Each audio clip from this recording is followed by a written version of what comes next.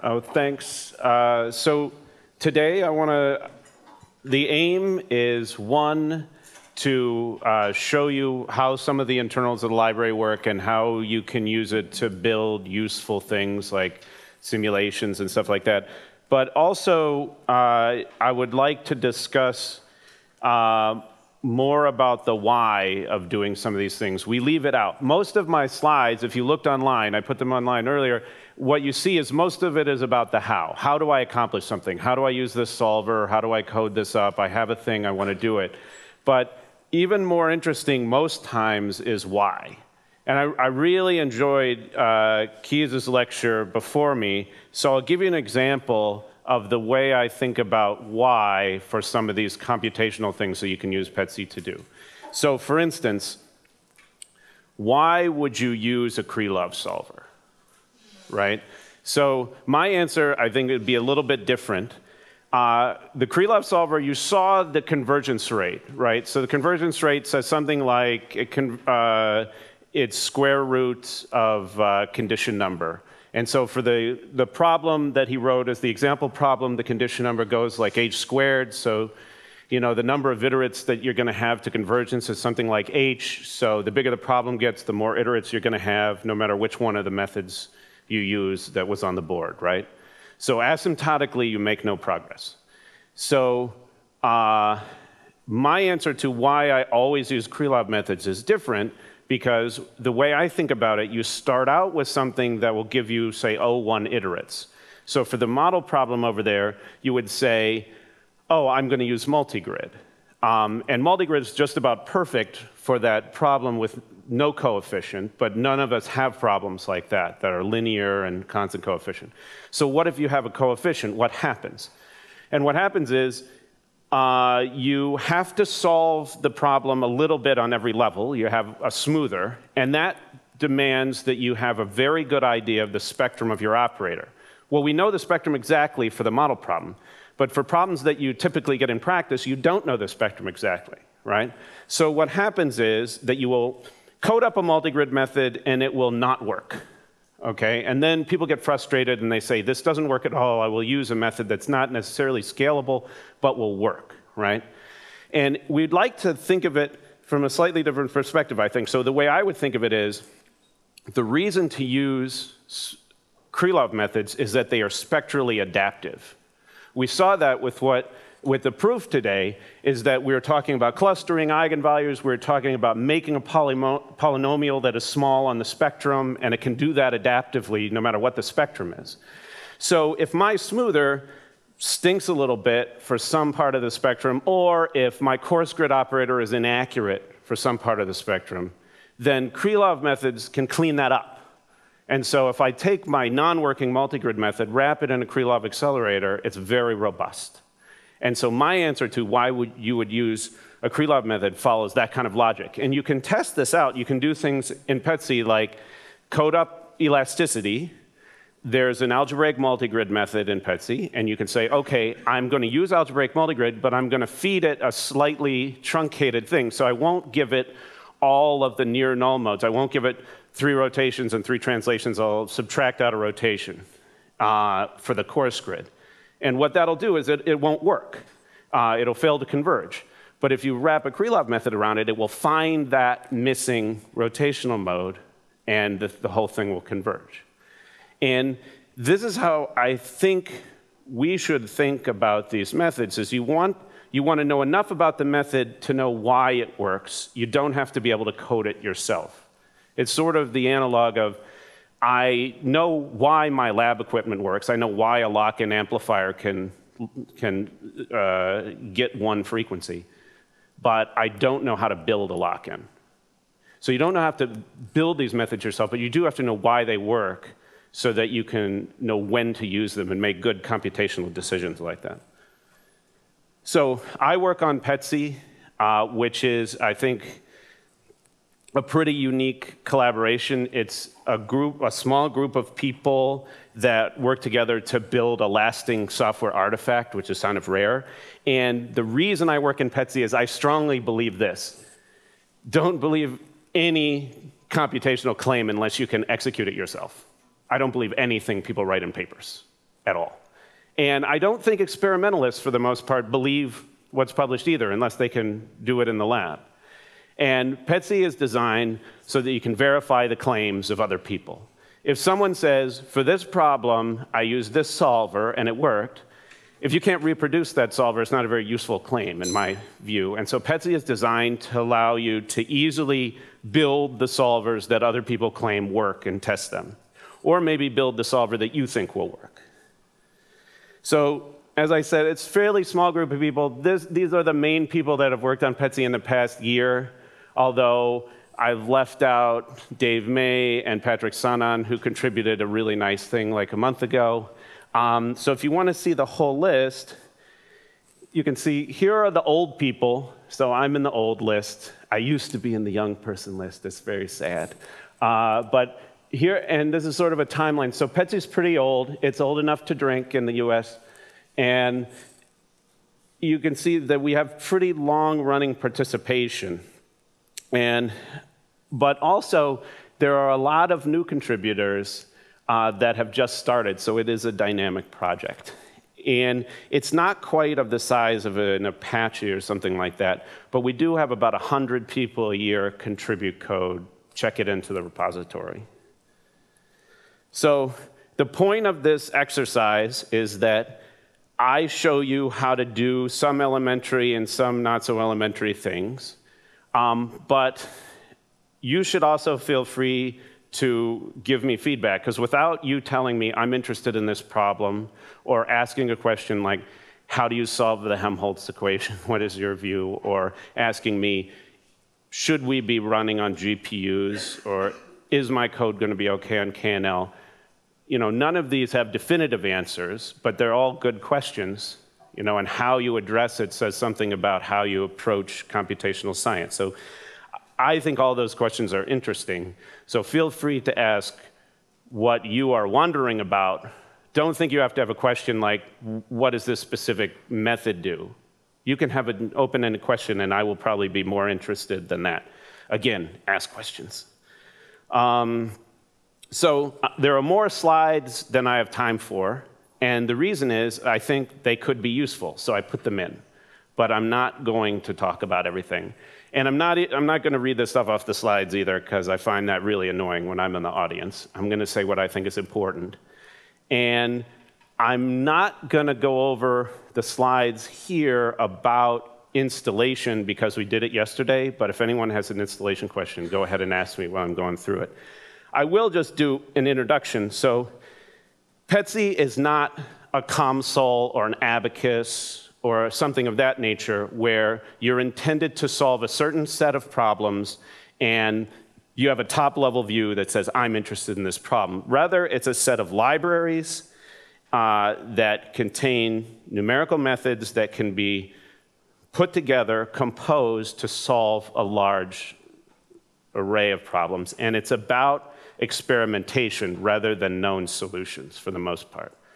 So I think that's very useful in the computational science discipline. So for instance, as I'm sure Keyes will tell you, there was an industry around making up a slightly different Krylov method and publishing it when you run it on one problem without comparing to anything else for a decade almost of the 80s. Uh, and PETSc was developed directly in response to this because they said, we don't know what's better because we can't compare anything. Now, I think almost any of the mentioned Krylov methods can be done easily with PETSc. In fact, without recompiling or recoding, you just give different command line options and you can compare all of them. And in fact, everything that's been said today, I can run directly right now with no new code and show you the answer. And we have killed this field of making slight tweaks and publishing papers. So you have to go somewhere else. And that somewhere else, I think right now, is doing a slightly different tweak to the discretization or doing a slightly different tweak to the mesh because no one writes papers where they compare what's better, tetrahedral meshing or quad meshing for this particular problem, or what's better, um, this mixed uh, element or this spectral element, because no one's code can run them all, which I think is very sad. So we're trying to expand the space of stuff that we can do parametrically so you can make these comparisons. Because without those comparisons, I think most of these papers are just useless that people churn out. Papers that say, I have a proof about this method can be useful in the absence of reproducibility. Papers that say, I have a scientific result that comes out of computation are useful. But papers that say, I ran this and I got this performance are absolutely useless unless you can reproduce it. So Barry says something about this stuff being hard, but this is the, the cooler quote, in my opinion. This is Bill Gropp, uh, who, if you have not met him, is, is the force behind the development of MPI, and he wrote MPICH with Rusty Lusk uh, while they were developing MPI. And so, what's he saying? he's saying things about the way that we think about software. And he says, a lot of people that he deals with think about software in this way. They think, well, what I'm really after is I want to get everything vectorized, or I would like this matrix assembly routine that is quite fast. And he says, unless you have a big picture of how the code fits together, that doesn't work very well, especially for distributed memory parallelism. There's another side which Bill didn't talk about in this interview because he doesn't see it very often, but I see it all the time, and that's the side that has a, a big picture overview that is nearly useless. So this is one that I see a lot, where someone will say, well, what we have is a solver, and then we have visualization, and we probably have error estimation here, and it feeds back in, and this is supposed to be a useful drawing. And the reason it's not useful is not discussed. It's not useful because the abstraction here is box. And box is not an abstraction with much leverage. I can't take box and go over and do something else abstractions with leverage tend to come out of the mathematics. So one good example that we saw today is linear algebra. If I can phrase my problem linear algebraically, and we did for CG in Keyes's talk, I can right away parallelize that because I have parallel implementations of that abstraction. So there's a lot of leverage there. And I can, for instance, write my quadratic programming solver solely in terms of linear algebra. So there's a lot of leverage there. So if I have that implemented, I can run that. And I think we don't say enough about there being great value in conceptualizing the interfaces based on the mathematics.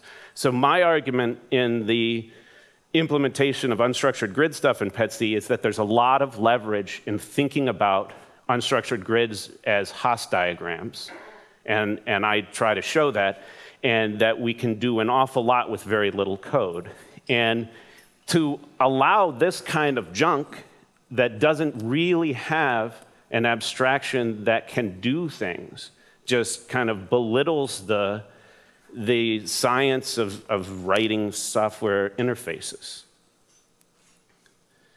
So PETSc is, as I said, a set of libraries. It's freely available. In fact, you can take it and sell it you know, it's totally within our license.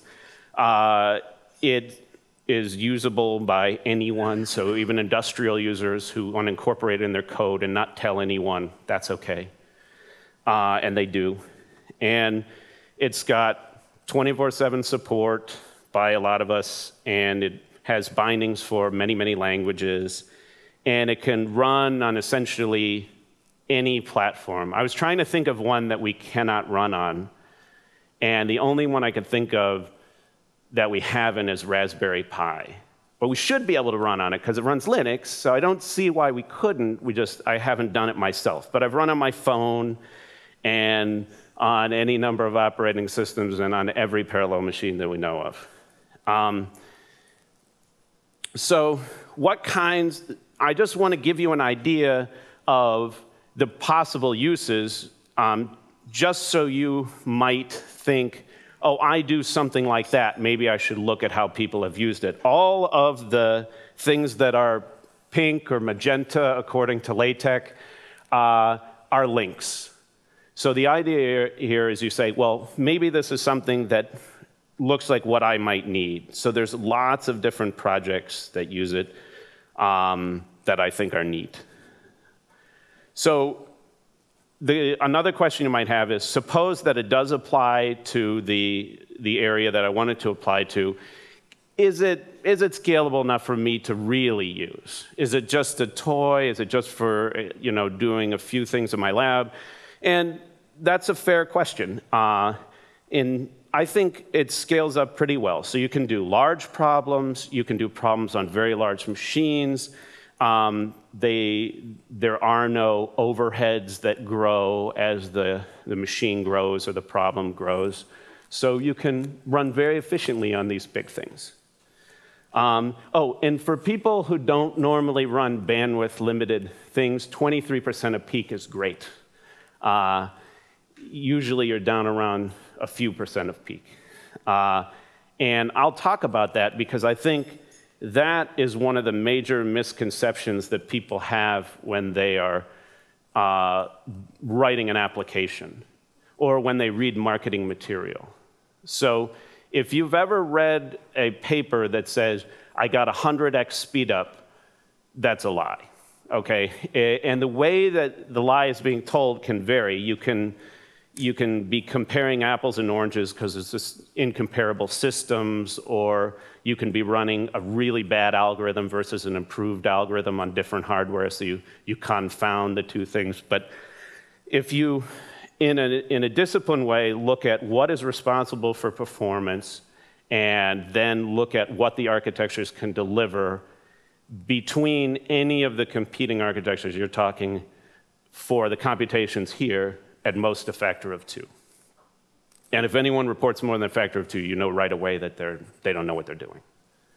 Um, so I'll show you explicitly, but that's the way it is. So when people talk about what kind of hardware should I use, you pretty much just have to run streams to get the first order idea, and I'll, I'll show that. Um, so I'll just quickly show you some of the things that I worked on that I thought were cool so PyLith is something that simulates crustal dynamics. It can do an earthquake rupture. It can do the quasi-static relaxation between ruptures.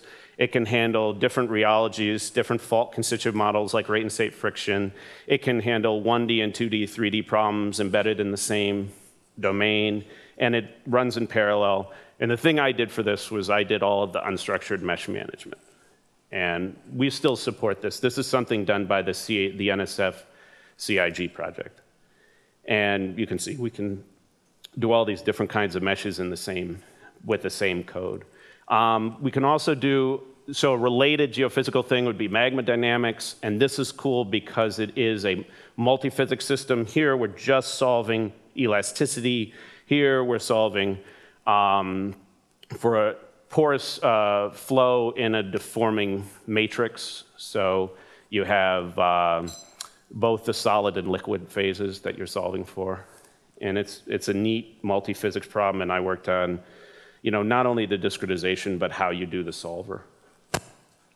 And you can get neat effects like channeling here. That's porosity, and this here is porosity, and you create these channels dynamically so you don't know the scale when you start. And we worked on, on fracture. This is a variational formulation of fracture mechanics with Blaise Bourdin at LSU. And you can do, the neat thing with this is you can do 3D intersecting cracks. They don't have to be prescribed, they just come out. It's kind of cool. And I've done uh, also things that have to do with boundary integral methods. So this is the vortex fluid method that you use for high fidelity, um, you know, uh, flow without viscosities. And I've also used that to do gravity modeling. So this is looking for mountains with Dave May at Oxford. And complex fluids, So lots of different things. And this is not something I did, but this is something that uh, Dave Fuentes and Tinsley Oden at UT did, where they were solving PD-constrained optimization problems for guided surgery. It's pretty cool. And this one's actually, that's a person, but this is a dog that they were doing thermal cancer therapy on. And I think it lived, so good, right? Um, so those are some of the, give you an idea about the range of applications that we're able to handle. And the way that we do it is we have a small number of pieces that are easily composable and can be put together. And so the idea is that the, what I want to emphasize to you is that having simple conceptual framework that can be composed together can generate some really beautiful, very complex and, and tailored solvers. So uh, most of the rest of here is about installation, and I'll just kind of skip over installation unless anyone has a question. But for instance, I'll just stop here for a second. I wanted to give you an idea. Um, so when I am running normal FEM problems, um, and uh, for installation, I generally say, well, I'd like uh, mesh generators in 2D and 3D, and um, p4est is a, a, structured adaptive mesh, so kind of like a generator. And then I'd like mesh partitioners, and pragmatic is a parallel coarsener and refiner at the same time, which is pretty cool for unstructured meshes. And then HDF5 and Exodus 2 for output. And I also started using GMP and MPFR for arbitrary precision stuff, um, mostly high precision quadrature for boundary elements. But this can all, all comes for free. So there's like there's a 60 of these packages that we support, or more than that now. And we're always willing to support new ones if, if people request them. And this is how we proceed. So we configure, we, we automatically set up the interface of these packages so that you can make use of them. I should have put on here MUMPS. I always, always, always build with that, um, generally MUMPS and SuperLU_DIST, because direct solvers should be your first option for anything. We haven't talked a lot about them, but any problem you run, you should run a direct solver first to get your physics right.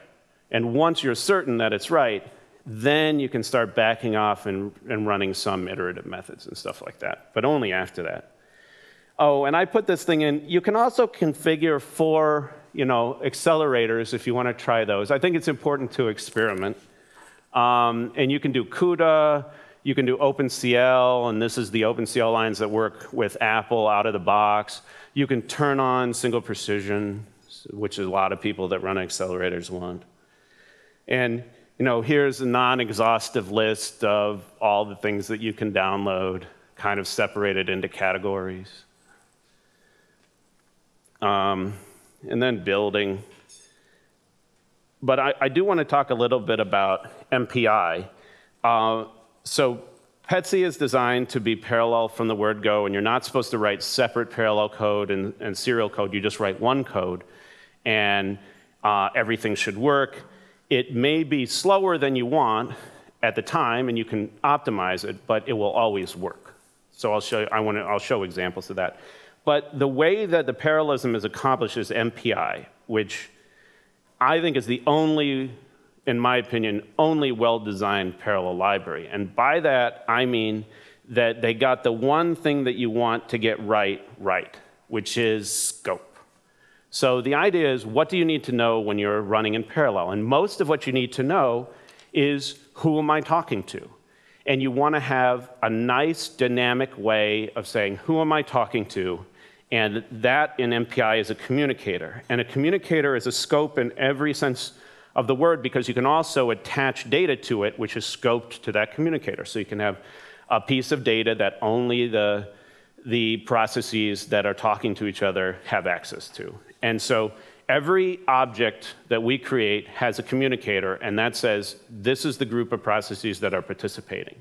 So for instance, it's easy to make code that uses part of a machine to solve the fluid part and part of the machine to solve the pressure part because you just create, you split the initial communicator into two parts and you make two solvers that have these two communicators and they can run concurrently and stuff like that. And that's the kind of freedom that MPI gives you. And in order to understand parallel performance, you really only under, have to understand two things for MPI, whether you're doing collective or point-to-point -point communication. And so in the documentation, we tell you if a routine is collective. And uh, that's you know, the best way to model what is happening with communication. You have some things that are network bandwidth limited, point to point, and some things that are latency limited, like the reductions. And it's pretty easy to work out what happens. So PETSc runs totally, uh, well, not totally, but the, I think the right way to run PETSc to drive it is to write a very simple code that you rarely alter and then customize things by giving command line options.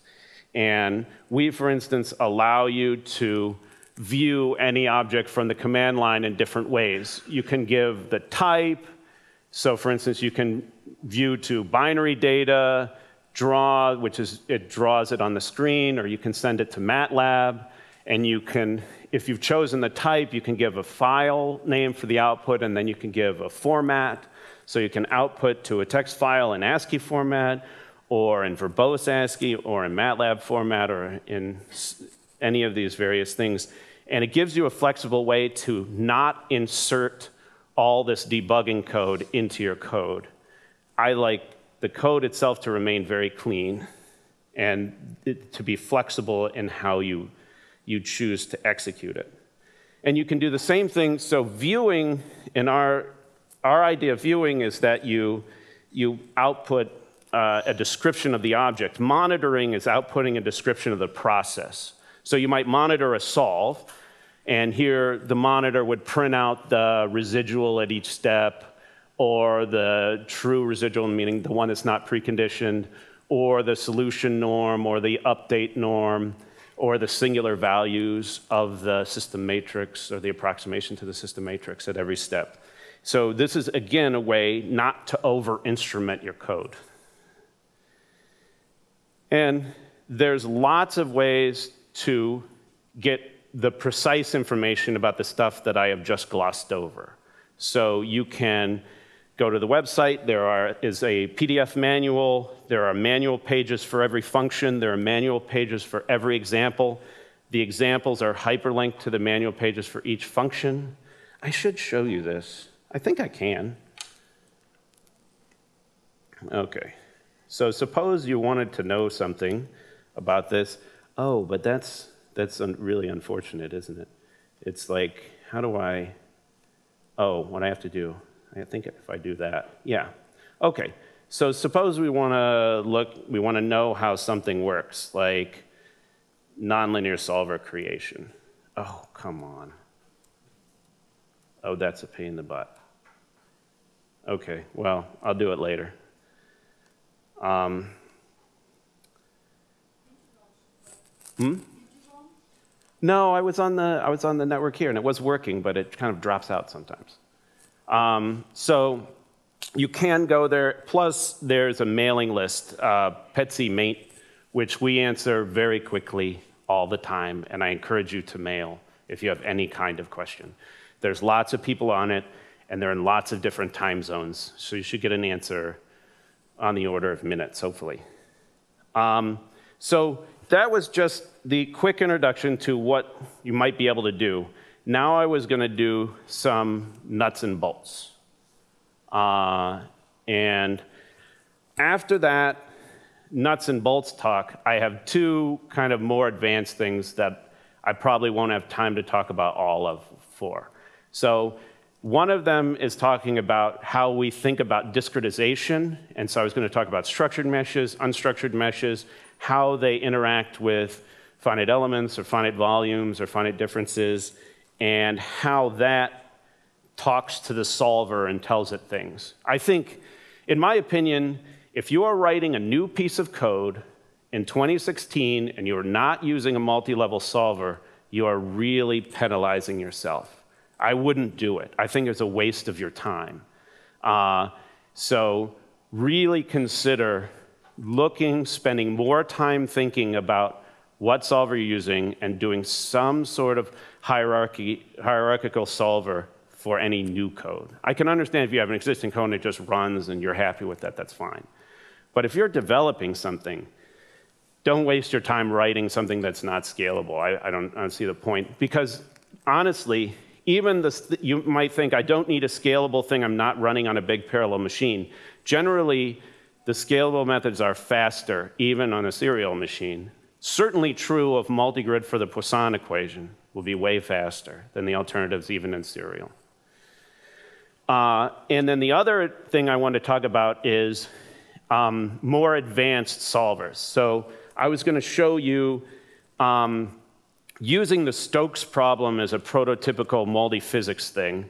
I was going to show you here's how we could do uh, multi-physics from the command line. You don't have any extra code. You don't, uh, you, you don't choose the kind of solver you want from the beginning you experiment step by step and develop a high performance solver. And so I think I'll do that first because I think that's what people want to see more than the discretization stuff, but you can tell me. But I'm going to do the stuff that's less interesting for me, but foundational right now, just so you know what I'm talking about. It's really hot, I know. I'm sweating to death. Uh, so uh, I think the key here is that I don't see much value in developing some sort of toy first approach. I've done it that way, and I've been doing this a lot of years, and I think what's much more effective is to start with your real physics, but in a cut down situation. So a very small grid, uh, maybe 2D instead of 3D if you can do it, but not a toy in the sense of a of computer scientist who might say, let's get rid of all of the coefficients and let's have something that's very nice and a, and a nice stencil and things. I would start with the problem that you really want to solve in the simplest scenario you know how to write down, and then start building from there. Um, so this is more for library writers there's a really good article by Bill Gropp uh, about things that libraries should never do, like print to the screen, because you're going to be included in someone else eventually, and they won't want to print to the screen at that point. Printing to the screen can actually slow you down by a factor of 10 at best on these large parallel machines like Edison. And, you know, always propagate underlying error codes back instead of aborting and things like that. And I think it's just a great list and it shows you the kind of simple design principles that make a usable library versus one that someone just throws up on their web page. So if you are thinking about trying to incorporate PETSc into a code you already have, like say you have a nice code and it simulates a ship, you know, or something like that, and you would say, well, you have a solver that I might like to have. How would you do it? And this is how I would do it, because I've done this a few times. And what I would say is, first, put your code under version control before you do anything. Before you make one more keystroke, put it under version control. There's no argument for doing anything else. I don't care if you're one person that develops it. I don't care if it's one source file. Put it under version control. I know there are some people sitting in the audience that don't use version control, but hopefully we can change that before you leave. Everyone should install Git and put everything they own under version control.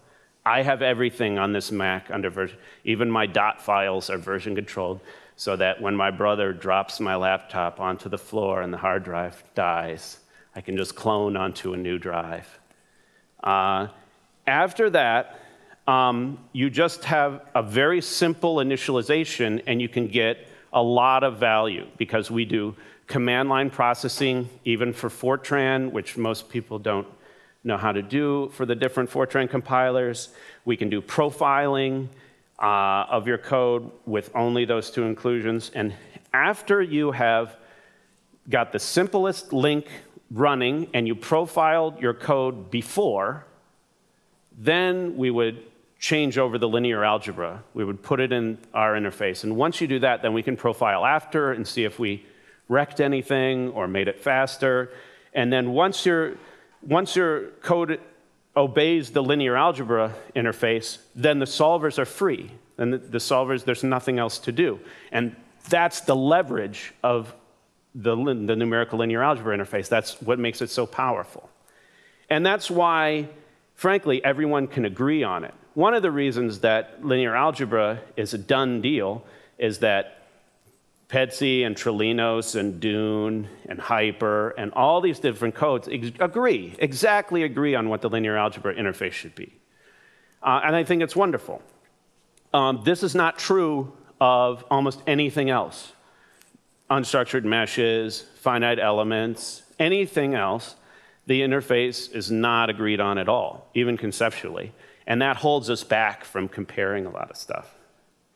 So let me show you what I mean by initialization. If in your code, at the beginning, you put a call to PETSc initialize, and what this will do is it sets up our static data things, and it also sets up MPI if you have not, if you have not called MPI initialize.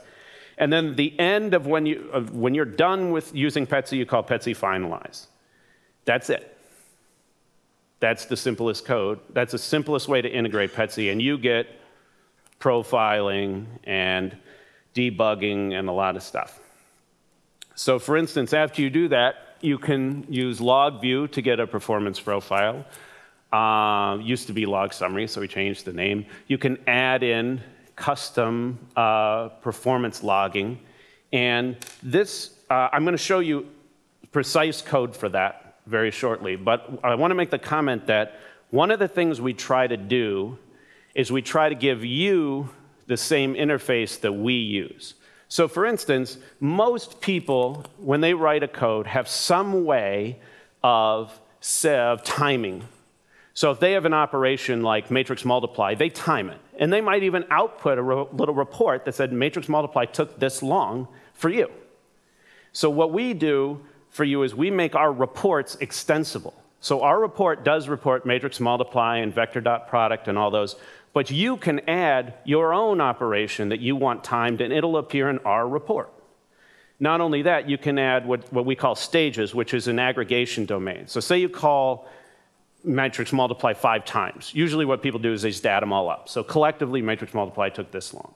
But you can indicate stages in your code where you say, okay, every event that happens in here, add together, and every event that happens here, add together, but they're separate. So you can, for instance, segregate a large velocity solve from a smaller pressure solve and tell the difference.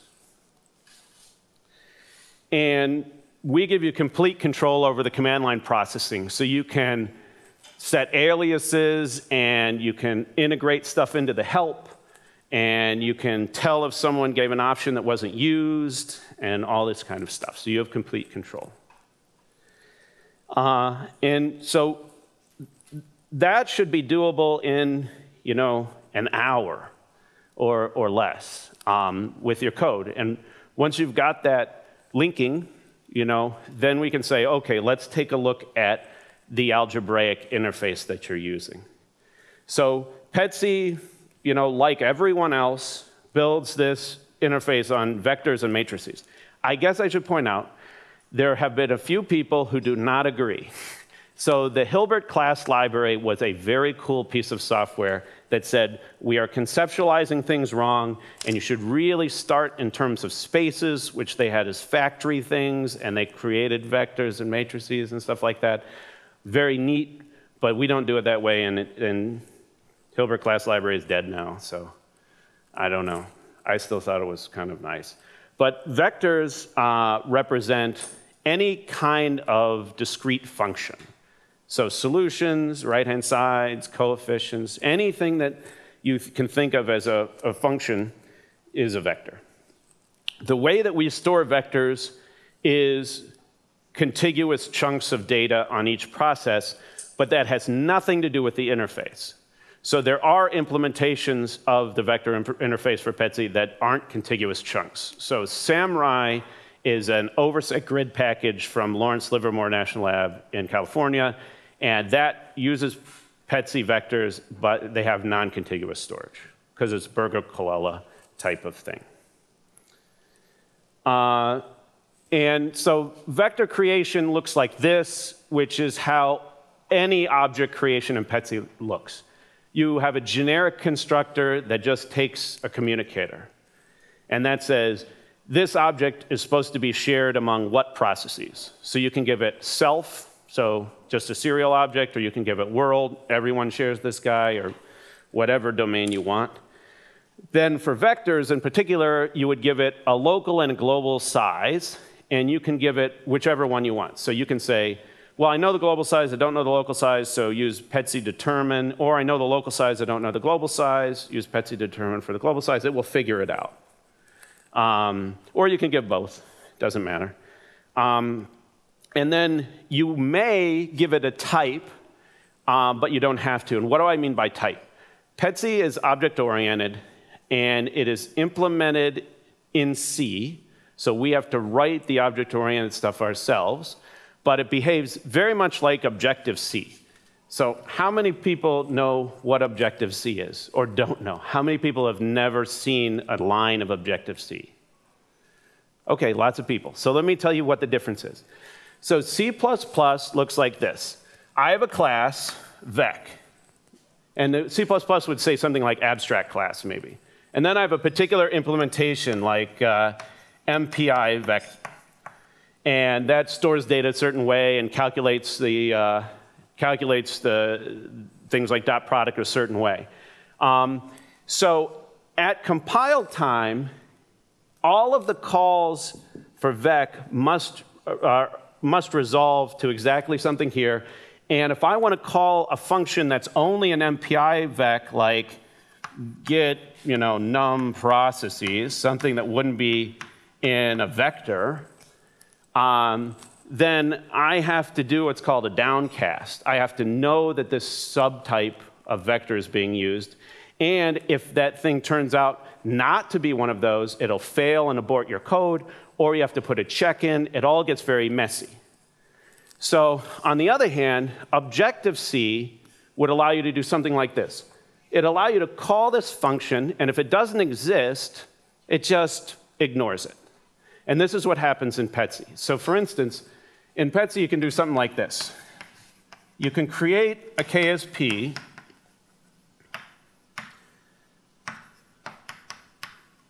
and then you could say, oh, um,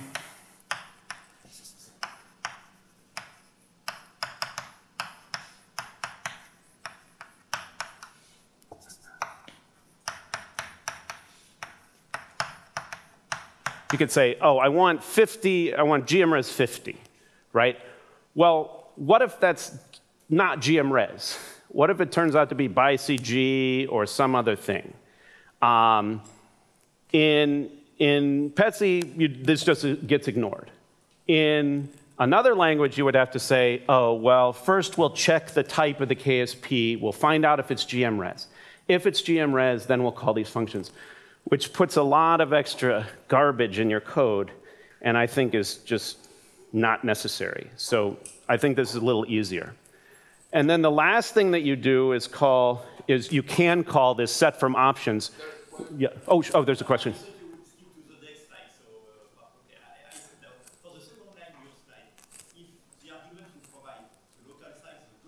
Yeah. Oh, we check if they're consistent. Yeah. yeah. Automatically, yeah. Yeah, I mean, yeah, you could, you could potentially give sizes that were not consistent, but it would give you an error and say these aren't consistent, which you could catch and change it, but if you wanted, or you could just let it abort. So set from options says um, read in command line arguments and customize the thing based on those arguments. So for instance, a command line argument might be something like this.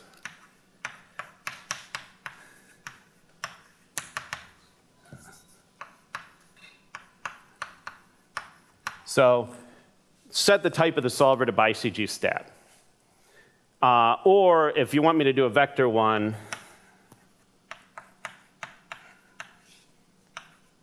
mm, I think uh, CUDA.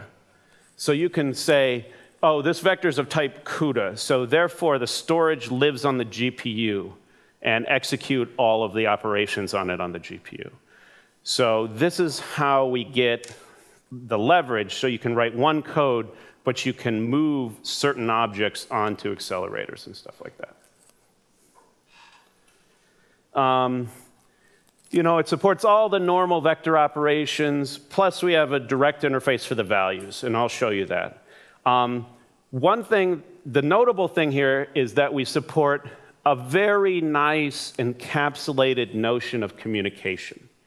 So for parallel operations, um, lots of times you can get away with the operations of linear algebra. You can say, well, everything I'm doing is a matrix vector product or vector dot products or algebraic operations in the algebra of vectors. But what if it's not? What if you want to do something like, oh, I would like to gather all the data from these eight points in the vector that constitute my observe, observation stations, and then I want to write it out. And I want that to work in parallel. How do you do it? And so the interface that we have, our original interface was something called a vex scatter. And what it said is, well, I'm going to I'm going to think of the vector as just something numbered 1 to n, and I'm going to list some numbers, so maybe, you know, 4 and 5 and 18 and 374. Uh, they're going to go to 1, 2, 3, and 4. And these are global indices. So this says globally, these numbers go to those numbers.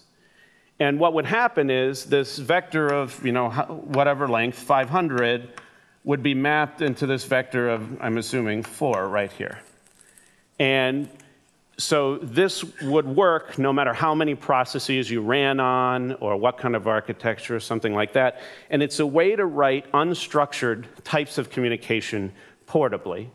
And in fact, we use this when we do our parallel sparse matrix uh, multiply. So what we say is, well, you take uh, the columns that have non-zeros in this row or in this block, and you map those things from the vector x into some squashed vector on my process, and then do the local multiply.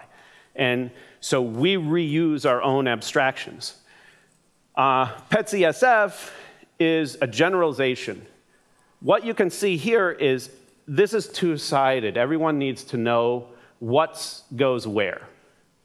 Um, whereas PetscSF, it's, SF stands for star forest. It allows you to specify just one half of the graph. It, it says, oh, uh, every process specify what information it wants from somebody. And then we will figure out, we will send that information to the somebodies so that they know to send and, and everyone rendezvous, but we do that in a way that doesn't collectively block. He uses this nice Torsten Hoefler uh, algorithm that uses I barrier and is totally scalable. So it's really nice, create two-sided that, that we have with, with SF. So it's just a refinement. Plus, SF works for any data type, and scatter just works for data types that can fit in vectors. So you can give arbitrary MPI data types to PetscSF and it will communicate them.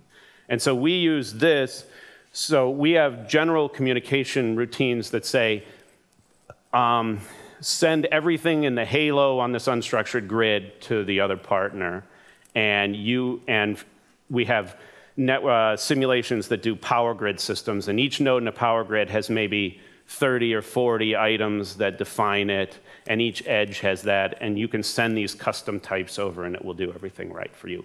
So you can build arbitrarily complicated data structures that it will send uh, efficiently in parallel with this easy kind of interface. Um, so let me show you um, how vector assembly works to try to get you, give you an idea about how you write portable parallel code. So um, when you say, I would like to put something in a vector, what you do is make a call someone like this. You say, OK, I have, n, I have n values I want to put in. Here are the rows they go in. Here are the values. And you, and you can execute as many of these calls as you want. And what happens is, locally, if we own the value, we stick it in. But if we don't, if it belongs in another process, we keep it And then when you call vec assembly begin, we start sending them. And when you call vec assembly end, we wait till everyone's got them and then you can proceed. So in between assembly begin and end, you could do things. You can compute. So you can overlap communication and computation in a simple way. So let me show you real code. So if you had a serial code and it set a vector uh, to have values 1 to 100, it might look like this. And then you say, OK, I want to run this in parallel. What do I do? And you, you can do this. You can say, OK, um, I'll just wrap an if around it so only process 0 does the value setting. So that's one way to do it. And that would work. You would have one guy, he would set all the values, it would automatically communicate the values to whatever process needed to get it, and everything would be correct. So you could do this to your serial code. The thing you don't want to do, I think this is like falling off. Yeah. The thing you don't want to, the reason you don't want to do that is because you can see that it's going to send n minus 1 over n percent or fraction of the values, right? So pretty bad. Uh, so it'll work, but it won't be terribly efficient. So this is, you know, our kind of goal is to get you working quickly. We have ways that'll handle everything for you. But if you'd like to be efficient, it's only a little bit harder. So how would you do this efficiently? Well, what you might say is, ask the vector, well, only tell me which values you own. So low and high would be the, the indices that this process owns, and then I would just loop over those and set the value. This is purely local, so the assembly begin and end do not communicate anything. And so it's not that much harder to get your code to be scalable, but you have to think a little bit about dividing the index space. So we give you a way to do it where you don't have to think right away. And, you know, all these, all these operations work. So the, the very next thing that everyone wants to do is they want direct access to the values, which I think is perfectly right. It's the right way to work with data like that. So we provide a way to pull out the raw pointer. And you can, you can even do this for um, values that aren't stored locally. So you can, for instance, pull out the CUDA pointer for GPU vectors, you know, if you want. So how does it work?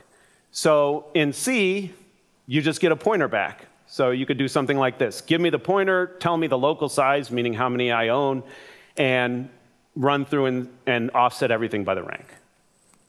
Right? Uh, easy.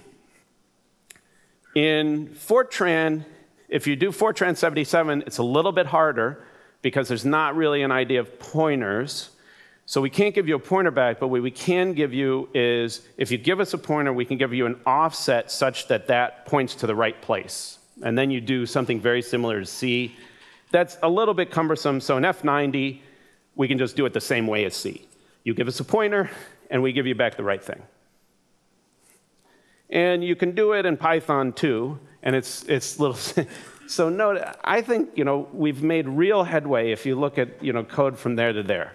Uh, it's true. It's slower, but there you go. Then you can add all that code back in with Cython, making it fast, right?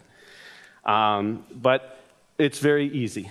And the way that we, u- we do it with Python is we always return NumPy arrays. So if you know NumPy, every, every PETSc function that returns a raw array in C returns a NumPy array, so there are no copies, um, and since NumPy can understand strides and all that stuff, there's no transposers or reordering or anything like that. It's purely pointer passing. It's very efficient.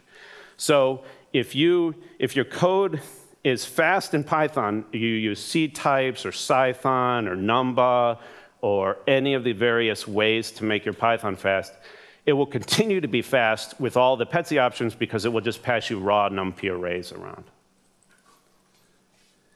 And we also have functions like for, for structured grids, you can get back arrays that are multidimensional um, because you have an idea about how your data should be stacked. Um, so we, we give you back an, uh, an array with um, you know, two uh, dimensions for 2D and three dimensions for 3D, or four dimensions if you have components in 3D and stuff like that. And you can see you can write code that looks exactly like the serial code that you would write for a finite difference method. And you can write code that it looks exactly like the serial code you would write for a finite element method. And I'm going to show a few more examples of this, but I just wanted to show this one right up front so you get an idea that it can be very easy to write scalable parallel code. And you can do it in F90. So I added this last night because I didn't used to have it because I never write F90, but it's doable. And it's, it's actually just as simple as C. I, I didn't write the Python version. I will. It's the same. It's, you just call that function, it pulls out a NumPy multidimensional pointer, and you can use it. So that's vectors. And hopefully that looked pretty simple. If you had a code that's using vectors, they probably are contiguously stored, and it's almost a no-brainer to wrap, wrap vectors around. So you, I should have, I should have showed this. Uh, you can allocate the storage and wrap a vector around it, or we can allocate the storage and you can pull the pointer out, either way. I tend to let us allocate it because we log the storage, we put sentinels at either end to see if you ran over the memory, that kind of stuff.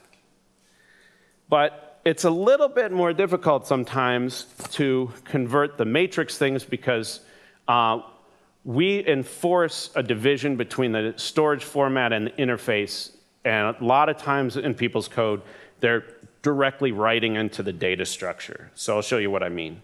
So matrices are you know, discrete linear operators, and they can store a lot of stuff. And we have lots and lots of different data structures, AIJ and block structures, symmetric structures um, jagged diagonal that works on the Earth simulator really well. We have, in, we have uh, support packages that have their own internal data structures like MUMPS and SuperLU and UMFPACK. And so you really should never be accessing the matrix data structure directly. It just never benefits you. I've never seen performance data that suggested that writing in it directly makes any meaningful difference. Because if you're going to the trouble of making a matrix, you're either doing a solve, which will swamp anything, or if you're just doing multiplies, you still have all the work of filling the matrix. Uh, so it's created very much like the vector. You do mat create, you, set, you tell it what size is, you say the type, and you set from options. The one thing that is uh, different is that in order to be performant here, we want you to pre-allocate the matrix, which just means tell me how many items are in each row. And the way I tend to do it is I run the whole assembly process, except I don't compute the value. I just compute the, uh, the ij that it goes in, and then I add those up and say, this is how big my matrix is. That process tends to be very, very small compared to everything else in the code. Um, I could imagine, I guess I could imagine a case where you did almost no computing and it was, it was some sizable fraction, but I've never seen it. If you have that case, I would be interested to see why. Uh, and then when we put values in, we just call this mat set values function, which says I have this many values it's a logically dense block. So a logically dense block would be something like this. Usually, like imagine you're doing finite elements and you say, okay, I have a P1 element, and so uh, these degrees of freedom are at my vertices, and this may be 5 and 17 and 38. So I would get a matrix of values that looked a little bit like this, and maybe it's like 1 and 1 and 2 and 0 0.5 and 0 0.5 and minus 0.5 and minus 0.5 and 0.0 and 0.0, something like that, something that looks a little bit like the finite element Laplacian. And so up here, what you would get is um, these would be passed in as rows, And these, this array would be passed in as calls, and this would be vals. And that's how it's conceptualized.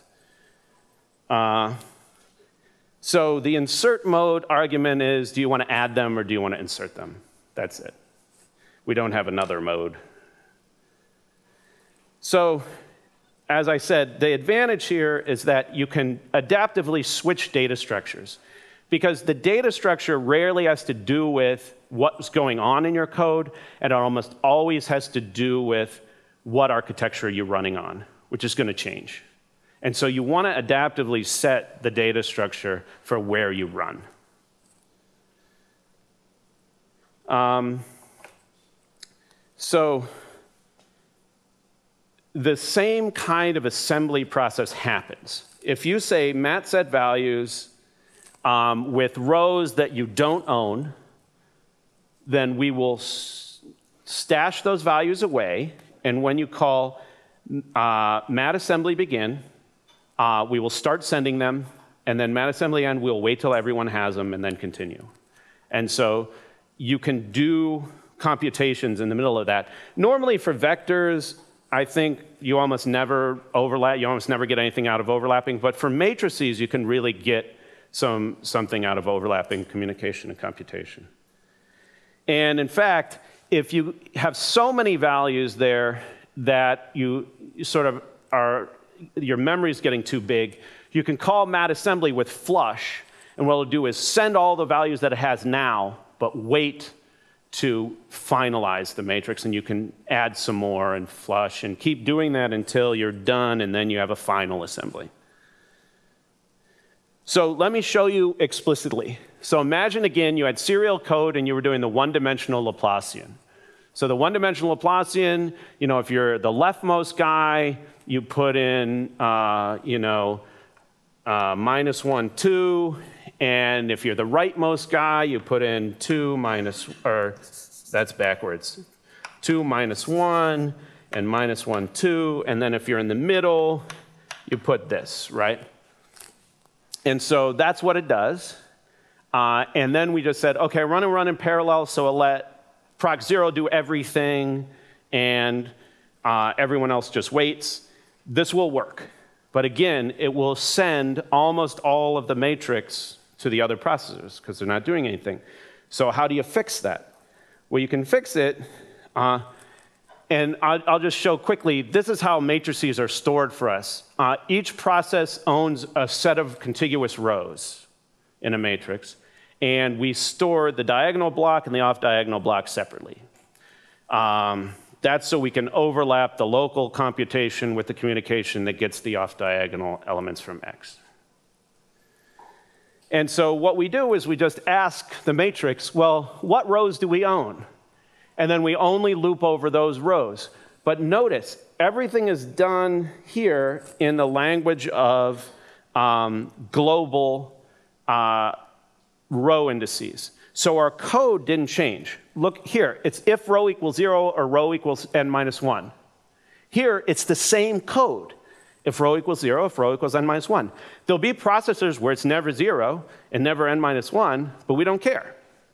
Uh, and so if you operate, this is a nice, clean paradigm for turning serial code into parallel code, and that's why uh, Barry preferred it when he originally made up the interface. I can totally understand the point of view that you want to get away from global numberings. So a lot of people, especially people that do adaptive stuff, really hate global numberings and say, I don't like that, I don't want to write my code that way. I'm sympathetic to that.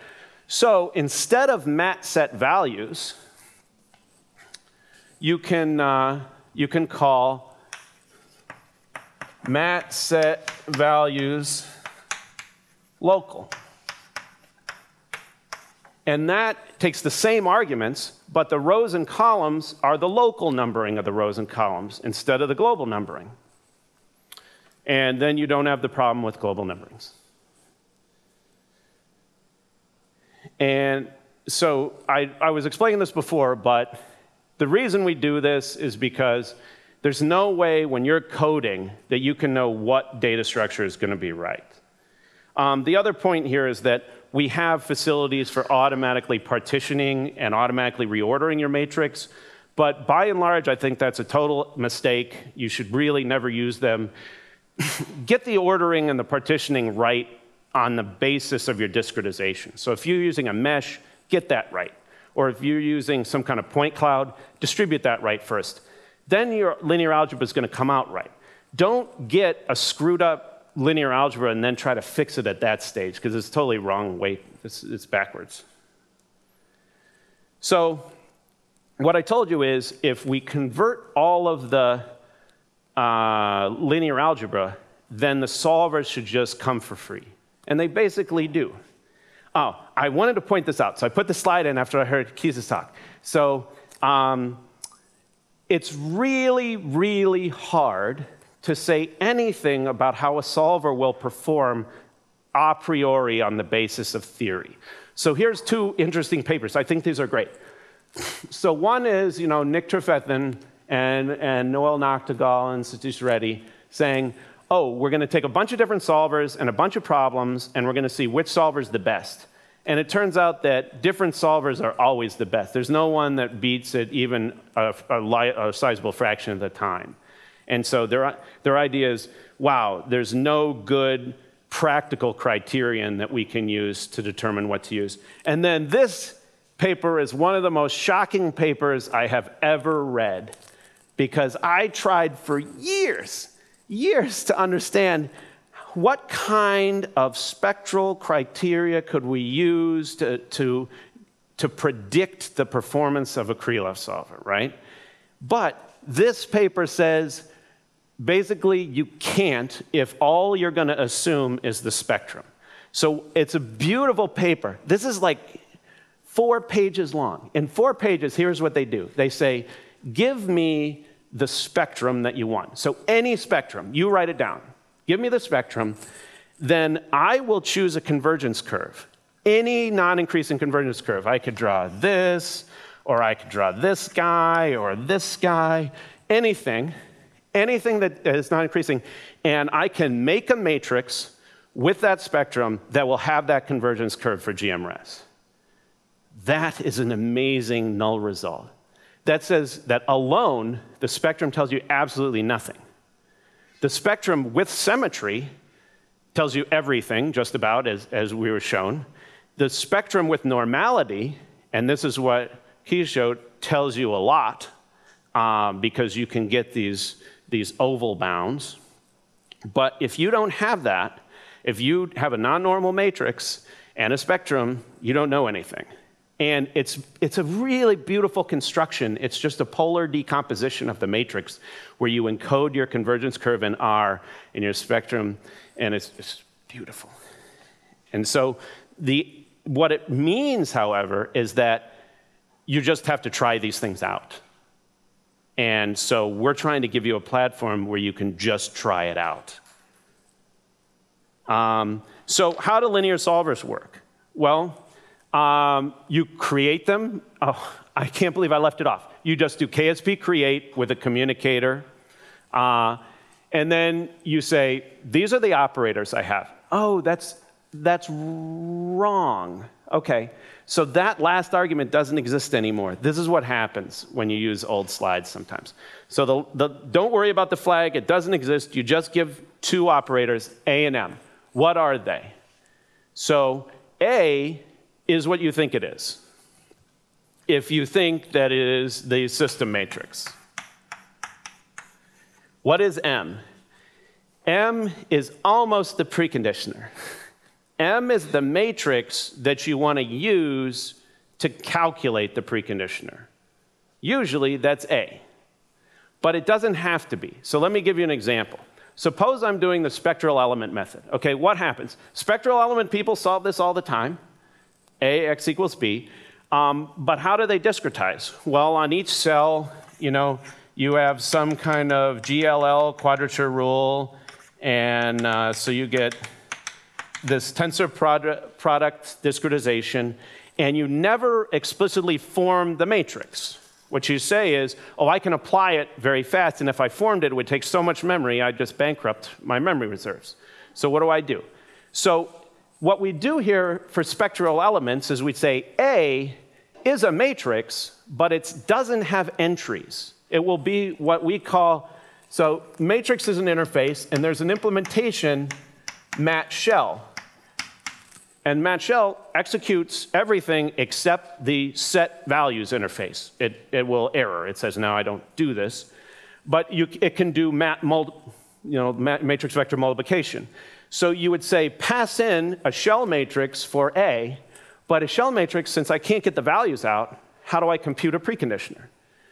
So you pass another matrix in for M, and that matrix is, could be something like, suppose that I divide up my cell like this, and then I just do P1 in all these little guys, right? Uh, it's a very sparse matrix compared to the original spectral matrix, but it's a good approximation. And then you pass that in, and then maybe we'll do multi-grid on that matrix. So we set up the interface to take a, an operator that defines the system and an operator that you use to calculate a preconditioner. And you can access subobjects like what is the preconditioner, and then you can set the types dynamically, like KSP type BiCGStab and PC type multigrid. There's MG. Uh, it's the same for nonlinear solvers, almost, except that with linear solvers, you can get all of the information you need from these static objects, matrix. But uh, in the nonlinear world, you generally need to keep reevaluating as you change the, uh, the, the approximate guess. And so instead of just objects, we need functions. We need callback functions. Give me the function that evaluates the residual. Give me the function that evaluates its Jacobian. Now, you only really need to give me the residual, and I can approximate the Jacobian, but I'll show that later. And these solvers can be controlled, again, from the command line. You can set the type of solver, the type of preconditioner. So there's a nonlinear preconditioner. We, uh, you can set the convergence tolerances. You can say view, which will show you a report about exactly what solver you have. You can say monitor, which will show you the progress of the iteration that you have now. Uh, and we develop solvers, but we recognize that PETSc is a tiny, tiny portion of the solver infrastructure and lots of people develop awesome solvers. And so we try to wrap up all of them. Uh, and they're great, and we, we can't touch these guys in their domain. But the idea here is to make them all available so you can test them against each other and figure out which one is the best one for your problem. And if you know one that we don't have, tell us, and we'll put it in. And, oh yeah, here's more. And this link here is a complete table online of everything that we support. And that table has things like, does it work in parallel? Does it work for symmet only symmetric systems? You know, and, and all the other kinds of things you have to know in order to use it. So this is my artist's conception of what your code should look like. Uh, I want codes that don't have any customization of the solver in the code. This means you never recompile. So what this does is it creates a solver. Here it's nonlinear, it could be linear. It tells the solver about the discretization. So it says set DM, and this DM object tells the solver what it needs to know from the discretization. So what's one thing you might tell it? One thing you might tell it is, this discretization has three fields. Here they are. You know, here's the division. That allows me to do things like Schur complement solvers, which I'm going to show you after we take a break. When do we break, by the way? Four? Okay, good. And um, it does set from options, and then the, the DM could do things like give me the correct size global vector for this problem. Give me the correct size global matrix for this problem. And so you get one out and you call solve. That should be it. Everything else can be constructed dynamically from the command line. And this is not a parlor trick. This is truly, in my opinion, the way you should handle these things. Why? Because optimal solvers depend on the equations that you're solving, but also the regime that you're in, and the machine that you're on, and the boundary condition data you chose that time, and the input, and the particular implementation that you have, and whether or not you're part of a larger solve and you need certain kinds of uh, accuracy criteria. So if I'm solving in the middle of, a, of an optimization loop, I don't have to be as accurate as I would if I'm solving the full problem to physical accuracy, and therefore I might use a different kind of solver. So in my view, this kind of organization is the way to code up the solve part. What, whatever you want to do on the discretization part, of the viz part, or the physics, anything, that's up to you. But doing more than this on the solve, I think, is a huge mistake. It makes your code fragile, and it makes it uh, uh, less portable, and it just makes it more harder to understand in general. If a new if a new person enters your lab and sees this, it's really clear what's happening. So I was just gonna, you might say, can you solve anything real with that? Isn't that, you know, is that just kind of a fake? So I was just going to show directly from an example. So the way that PETSc examples are labeled, they have the unit that they come from. So nonlinear equations, Krylov subspace things, time stepping, and then a number. Okay, I, I, I totally agree that you can criticize this. Um, might say, shouldn't they have a name, what they're, what they're solving, or something like that. And every time we try to do that, it, it messes up. Like, we change the internals of, of the thing a little bit, and then the name doesn't match. Or, or we, we allow it to solve two different problems, and then what should the name be? And so it's, it's a complicated thing. So we have just decided to stick with numbers. But this example 62 solves a nonlinear Stokes problem. And as you can see, I set the code up just about exactly how I said you ought to set the code up. There's a lot of other code in that example. It's like 400 lines long. But this part, the solver part, is pretty pristine. So you don't have to recompile, and I can do some very complicated solvers, which is the first thing I will show after the break.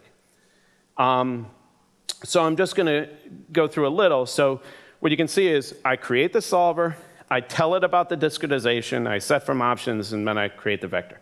So you can do stuff like, suppose you say, look, I know. I know that by default, I want to have periodic restarts. And if my user wants to override it, fine, but I'd like this to be the default. Well, you can do that. And you can do it in such a way that even if your user decides he's going to change this type and it's meaningless, it's not going to cause your code to fail, it's just going to be in there. So no downcasting, no checks. And you can separate uh, different solvers by giving them what we call prefixes. This is just like giving it a name. So you can name this solver Stokes, and then you can name another solver percolation, and you can name another solver Darcy, or something like that. And then when you address it on the command line, uh, you, can, you can distinguish. So for instance, Suppose I had a Stokes solver and a Darcy solver, right? Then I could say minus Stokes, SNES, type, Newton, because it's harder. And I could say minus Darcy, SNES, type, quasi-Newton, because it's easier. And you can do this for every type of object. You can give matrices different names. So you can give one matrix type to one, another matrix type to the other. You can give vectors different names. You can give anything a name that you want, and therefore control it individually. For instance, uh, I can view just one of these, minus Stokes underscore SNES underscore view, so just one of them prints out. And then the last thing I need to do is to give a function that forms the residual.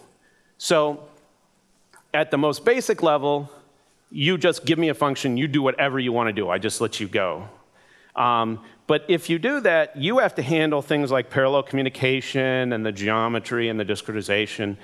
And so you can buy into what we think about these things progressively. So you might say, well, I still want to handle all my geometry and discretization, but I really like if you did the communication for me. So how do you do it? And so what you can do is you can say, oh, well, I'll, I'll define a local function, and then the, the only thing I need to tell you is the local to global map. So you can say, here's a local to global map, and normally people who, who partition their own things know this. And then you can define a local function. That just runs over your piece, and then PETSc automatically does the communication at the end. Um, now, you can say, oh, I, I don't want to even define my local global map. I want you to do the partitioning and the management. And so we, for structured and unstructured grids, we can do that if you can encode your grid. For structured grids, it's usually pretty easy. It's like this many, this many, and this many, and then uh, we'll split it up for you and we'll do all the communication and create the maps. If it's an unstructured grid, it's actually not that much harder. We just have to agree on a way you to, for you to tell me about it. And the, I have interfaces that read in triangle output and exodus output and MED output and, and lots of different kinds of files. And you can tell me in a raw way, you can just say, look, I have cells, they have these vertices and, and I can create an unstructured mesh and partition it from that and do everything you want and rebalance all, all automatically. Um, optionally, you can also provide a Jacobian, but you don't have to because we can do finite differences automatically for you. And I'll show you the options uh, in the solver part. Um, and if you tell us about your um, about your mesh and your data layout, then we can automatically do things like determine the Jacobian layout and pre-allocation and stuff. And it's not that hard to do. Um, we have a system where you would say, okay, suppose I have a mesh like this, suppose I have this doublet mesh, and you say, well, I have three unknowns per vertex, two unknowns per edge, and one per face, or something like that. Then we can not only calculate how big vectors are, but we can calculate how big is the matrix and how many items per row and how are they divided in parallel and stuff like that automatically for you. So it's, it's pretty easy to do. And I'll, I'll go over it again if I get time. Uh, so I just wanted, at the end of the section, I just want to talk a little bit about debugging and profiling. So PETSc is pretty good at debugging support. So if something, if we get a signal, we'll generate a full traceback for you. Or if we get an error, uh, PETSc error will generate a full traceback. So you can, you can see exactly where it happened. We, uh, if the default malloc in PETSc puts, uh, like if you malloc an array of memory, we'll put markers here and here so that if you write over either end, we'll see it when we free the memory and tell you about it and you can put in air handlers. Um, I would, and we do things like we can automatically launch the debugger for you. Now, that sounds like not that much of an advantage, and it's not till you're in parallel.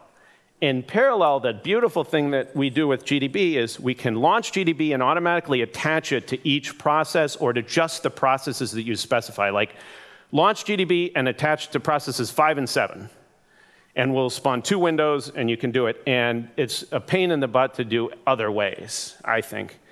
And uh, we can map the display too in case you're doing it on a cluster and you're logged in from another machine. We could route the windows back to the machine you're logging in from.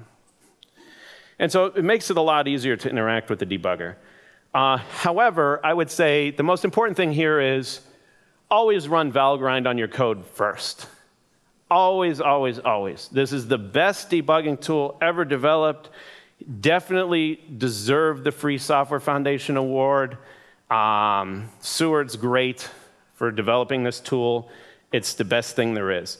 And it works with MPI. So you can run Valgrind on an MPI job just fine if you give trace children equal yes, because it just forks out a bunch of uh, children.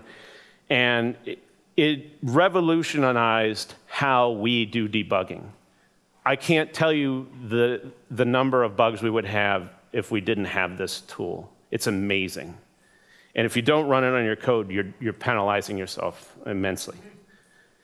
Uh, it also has some other tools in the package, like uh, a cache profiling tool, um, a race detection tool, and what I think is the best memory use uh, profiling tool called Massif.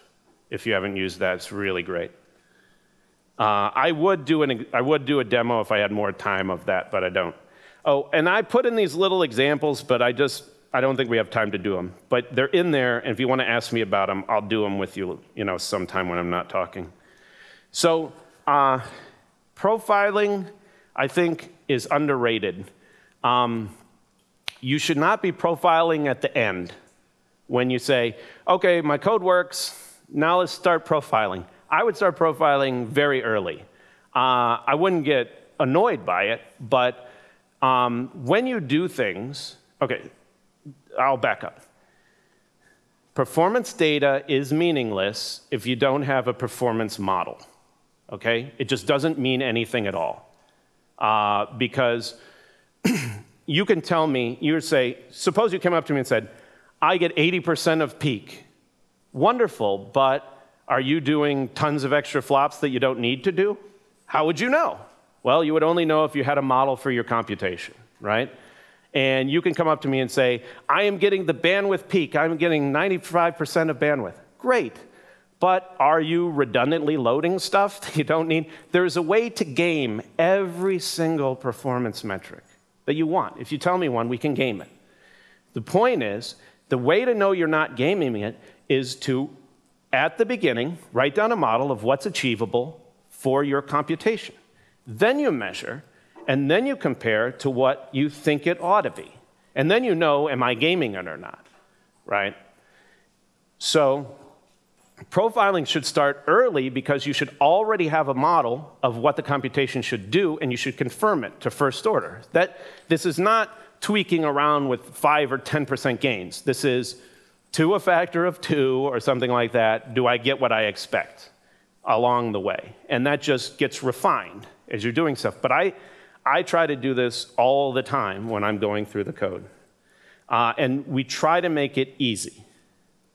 So, as I said, you can register your own stages, meaning the, the own sections that you want added together. Uh, and you can you can register your own events, and then you just put an event and you can log the number of flops, and very soon, almost done, you're going to be able to, to be able to specify the number of memory references because we want to calculate bandwidth because measuring bandwidth is very fraught and doesn't work very well on any architecture. Um, so here's kind of what it looks like. In C, I can register a stage like velocity solve and then I push it, and then I do my code like KSP solve, and then I pop it. Everything that's not within a stage you declare goes in the main stage. And in Python, you just use another with, so it's easier. And it's similarly easy to define an event. And the one extra thing we have in events are we associate events with a class ID, like matrix or Krylov solver because we allow you to turn off all the events for a given type if you want, just because they're taking too much time or you don't want to look at them. And similarly easy in Python. Uh, we also allow you to define class IDs. So why would you do this? So we monitor um, timing, and so what that is is for each event, we say how many times was it called, uh, how long did it take? What are the min and max across processors? How many flops did it do? How many reductions? How much data did it send? How many messages did it send? What flop rate does it achieve, right?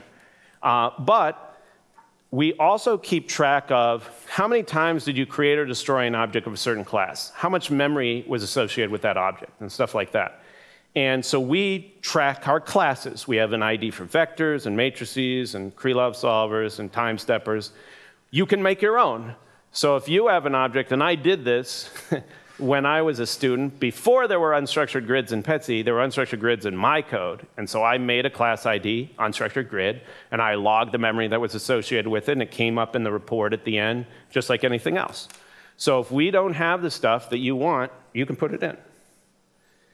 And so this is just talking about pre-allocation. So the important point is, if you're using matrices, you should pre-allocate, or it will be slow. Why? Because we will be calling malloc for every row at least. And malloc is slow. And so if you don't want us to do that, you should tell us how big the rows are, and it usually does not take very long. Um, and this just shows pictures of that. Uh, so there are ways to monitor this. So the easiest way is if you give, it's, I, it's not log info anymore. Shoot, it's minus info. If you, oh, I, I put it right at the top, but I didn't change the picture. So if you get minus info, it will say, look, the matrix is this size, and I allocated this much storage space, and this much was not needed. So you kind of want to shoot for no unnecessary space and no mallocs, right? If you have mallocs, that's slow. If, if you have unneeded space, that's not so bad because when you call mat assembly, it's going to squish out the unneeded space and give it back. Oop. So I, I don't have any more time. All right. So I want to talk about solvers when we come back, but just a little bit when we come back. In the beginning, I want to talk about serial performance because it's so important to understand you know, where this comes from so that you don't get led astray by people and with glossy uh, one-page sales pitches.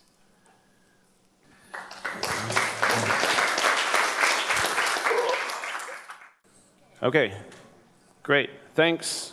So I, I just want to talk a little bit about serial performance because I think these ideas help you make decisions about using hardware. So as I said, in order to know what we're doing, we really need a model of the computation, but that model can be simple, okay? Uh, but you know, here's all the, the kinds of things that it could, it could incorporate. I'm going to propose a really simple model. Uh, the model says that the only things that matter in performance right now are how many flops I do and how many bytes I request from memory. Okay? That, that's not the whole world. So uh, I'm ignoring completely latency in this model uh, which is not going to be a good model if I'm on a bigger parallel machine. But say on this laptop, it's pretty good. And on just a cluster, it's generally pretty good. Um, so what does that mean? Well, what I can say is um, I'm going to look at the ratio of the number of flops I execute in a given algorithm to the number of bytes transferred, okay? And so what you can say is, for, the for a given algorithm, uh, if I want to run at peak, uh, what kind of a bandwidth do I need? So this is a good question about machine balance. Alternatively, I could ask, if I'm capped at a certain peak bandwidth, what's the maximum flop rate I can ever achieve? So it's the other side of the coin for that. But they're both based on this ratio B, which people have called the arithmetic intensity. Other people have published and called it the balance factor. There's not really an agreement. Um, so that's just Jed being very pedantic, so I will ignore that for now. So um, let's look at a really simple operation. So this is like a prototypical vector operation, right? So what's happening? Uh, in BLAS speak, this is called an AXPY but it's just scale a vector and add another, add it into another vector. This is a very common operation. These are the kinds of vector updates that Keith was talking about. So it does two n flops for a length n vector. So how's that? Well, it does n flops here and it does n flops here. How many memory accesses does it need? Um, I am, for the moment, going to suspend disbelief and say that all memory accesses are created equal. So stores and loads are equivalent and stuff like that. It's not really true because you can have many outstanding loads, but only one outstanding store usually and stuff like that. But suppose that's true. Um, then I have 3n plus 1 because I need to read two vectors and then write one vector and I need to load this alpha. Okay? So what's the balance factor? Well, it's 2n flops over 3n plus 1, and then um, there are b bytes in whatever I'm getting. So if I'm getting a double, four bytes, right? So uh, this balance factor it looks like 2 over 3b. So for doubles, that's like 1 sixth. Okay, so what's that mean? That means I'm doing one sixth of a flop for every byte that I bring down. Okay? So that might just sound like a number to you, but if you've looked at these numbers before, that sounds horrible. Okay, why? Uh, because think of my poor uh, laptop. So this processor is like a Core 2 Duo that has a peak um, flop rate of something like 1.7 gigaflops, which is embarrassing for a machine, but it is an error. And so what this implies is that if I want to run this algorithm at peak, I need something in the 10 gigabyte range, per, or is that, or 100, I can't count. Is that uh, 10 gigabytes per second. Yep. Um, and so that's a lot greater than my peak bandwidth right here, which is uh, like 1.1 gigabytes per second. So that means that if I run this operation, um, the best I can possibly hope for for that very simple vectorizable operation is 5.5% peak okay? And this is great because what you're typically getting in a lot of numerical codes is something hovering about 1 to 2% of peak. And there's, there's this fiction that the flop rate determines performance. Uh, can someone name an operation where flops determine performance? This will be the question and answer portion of the can anyone? What's one operation that we do where flops actually count? DGEMM, so matrix, dense matrix matrix multiplication is one.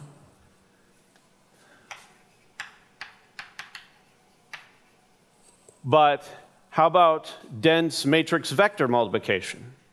No, that's bandwidth limited. Uh, and if dense matrix vector multiplication is bandwidth limited, sparse matrix vector multiplication is bandwidth limited. And all the vector operations are bandwidth limited.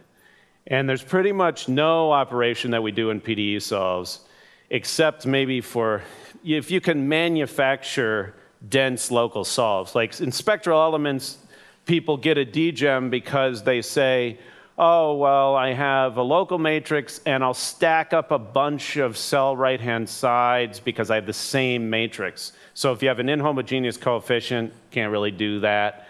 Um, so there, it's very hard to get DGEMMs out of a computation without faking it.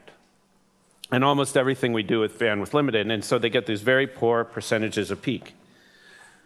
Uh, so we have a benchmark. It's called the stream benchmark, which pretty much runs what I just showed you. And it measures the memory bandwidth um, of a chip. So you can, you can run this with PETSc by doing make stream. And it will run this and make a nice plot for you using matplotlib if you have it. And it'll spit the data out. So what you can see is that on my laptop, uh, I run at about 5.5% of peak because it's a cruddy chip, because it's slow.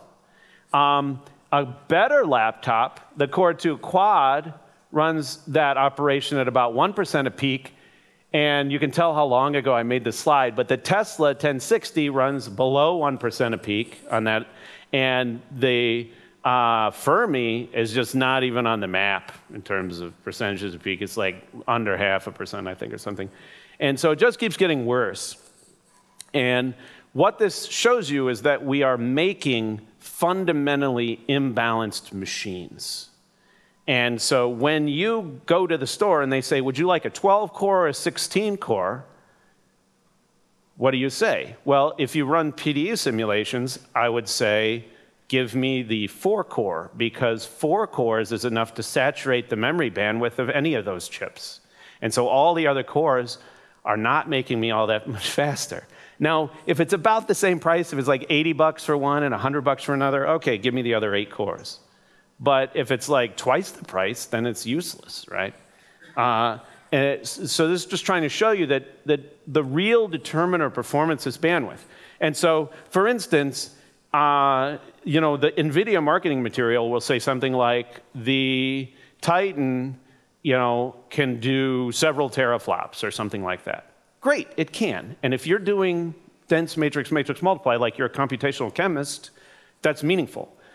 But if you're doing anything that's bandwidth limited, like everyone else, then what's the bandwidth of the Titan compared to the bandwidth of the equivalent Haswell? Like a dual socket Haswell board, which is about the same power as one Titan board, has a memory bandwidth that's only about a factor of two different than that, and the price differential is huge, right?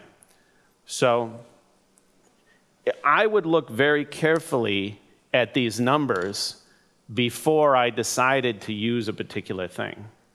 Uh, so even in the case of sparse matrices, we can essentially completely analyze the thing.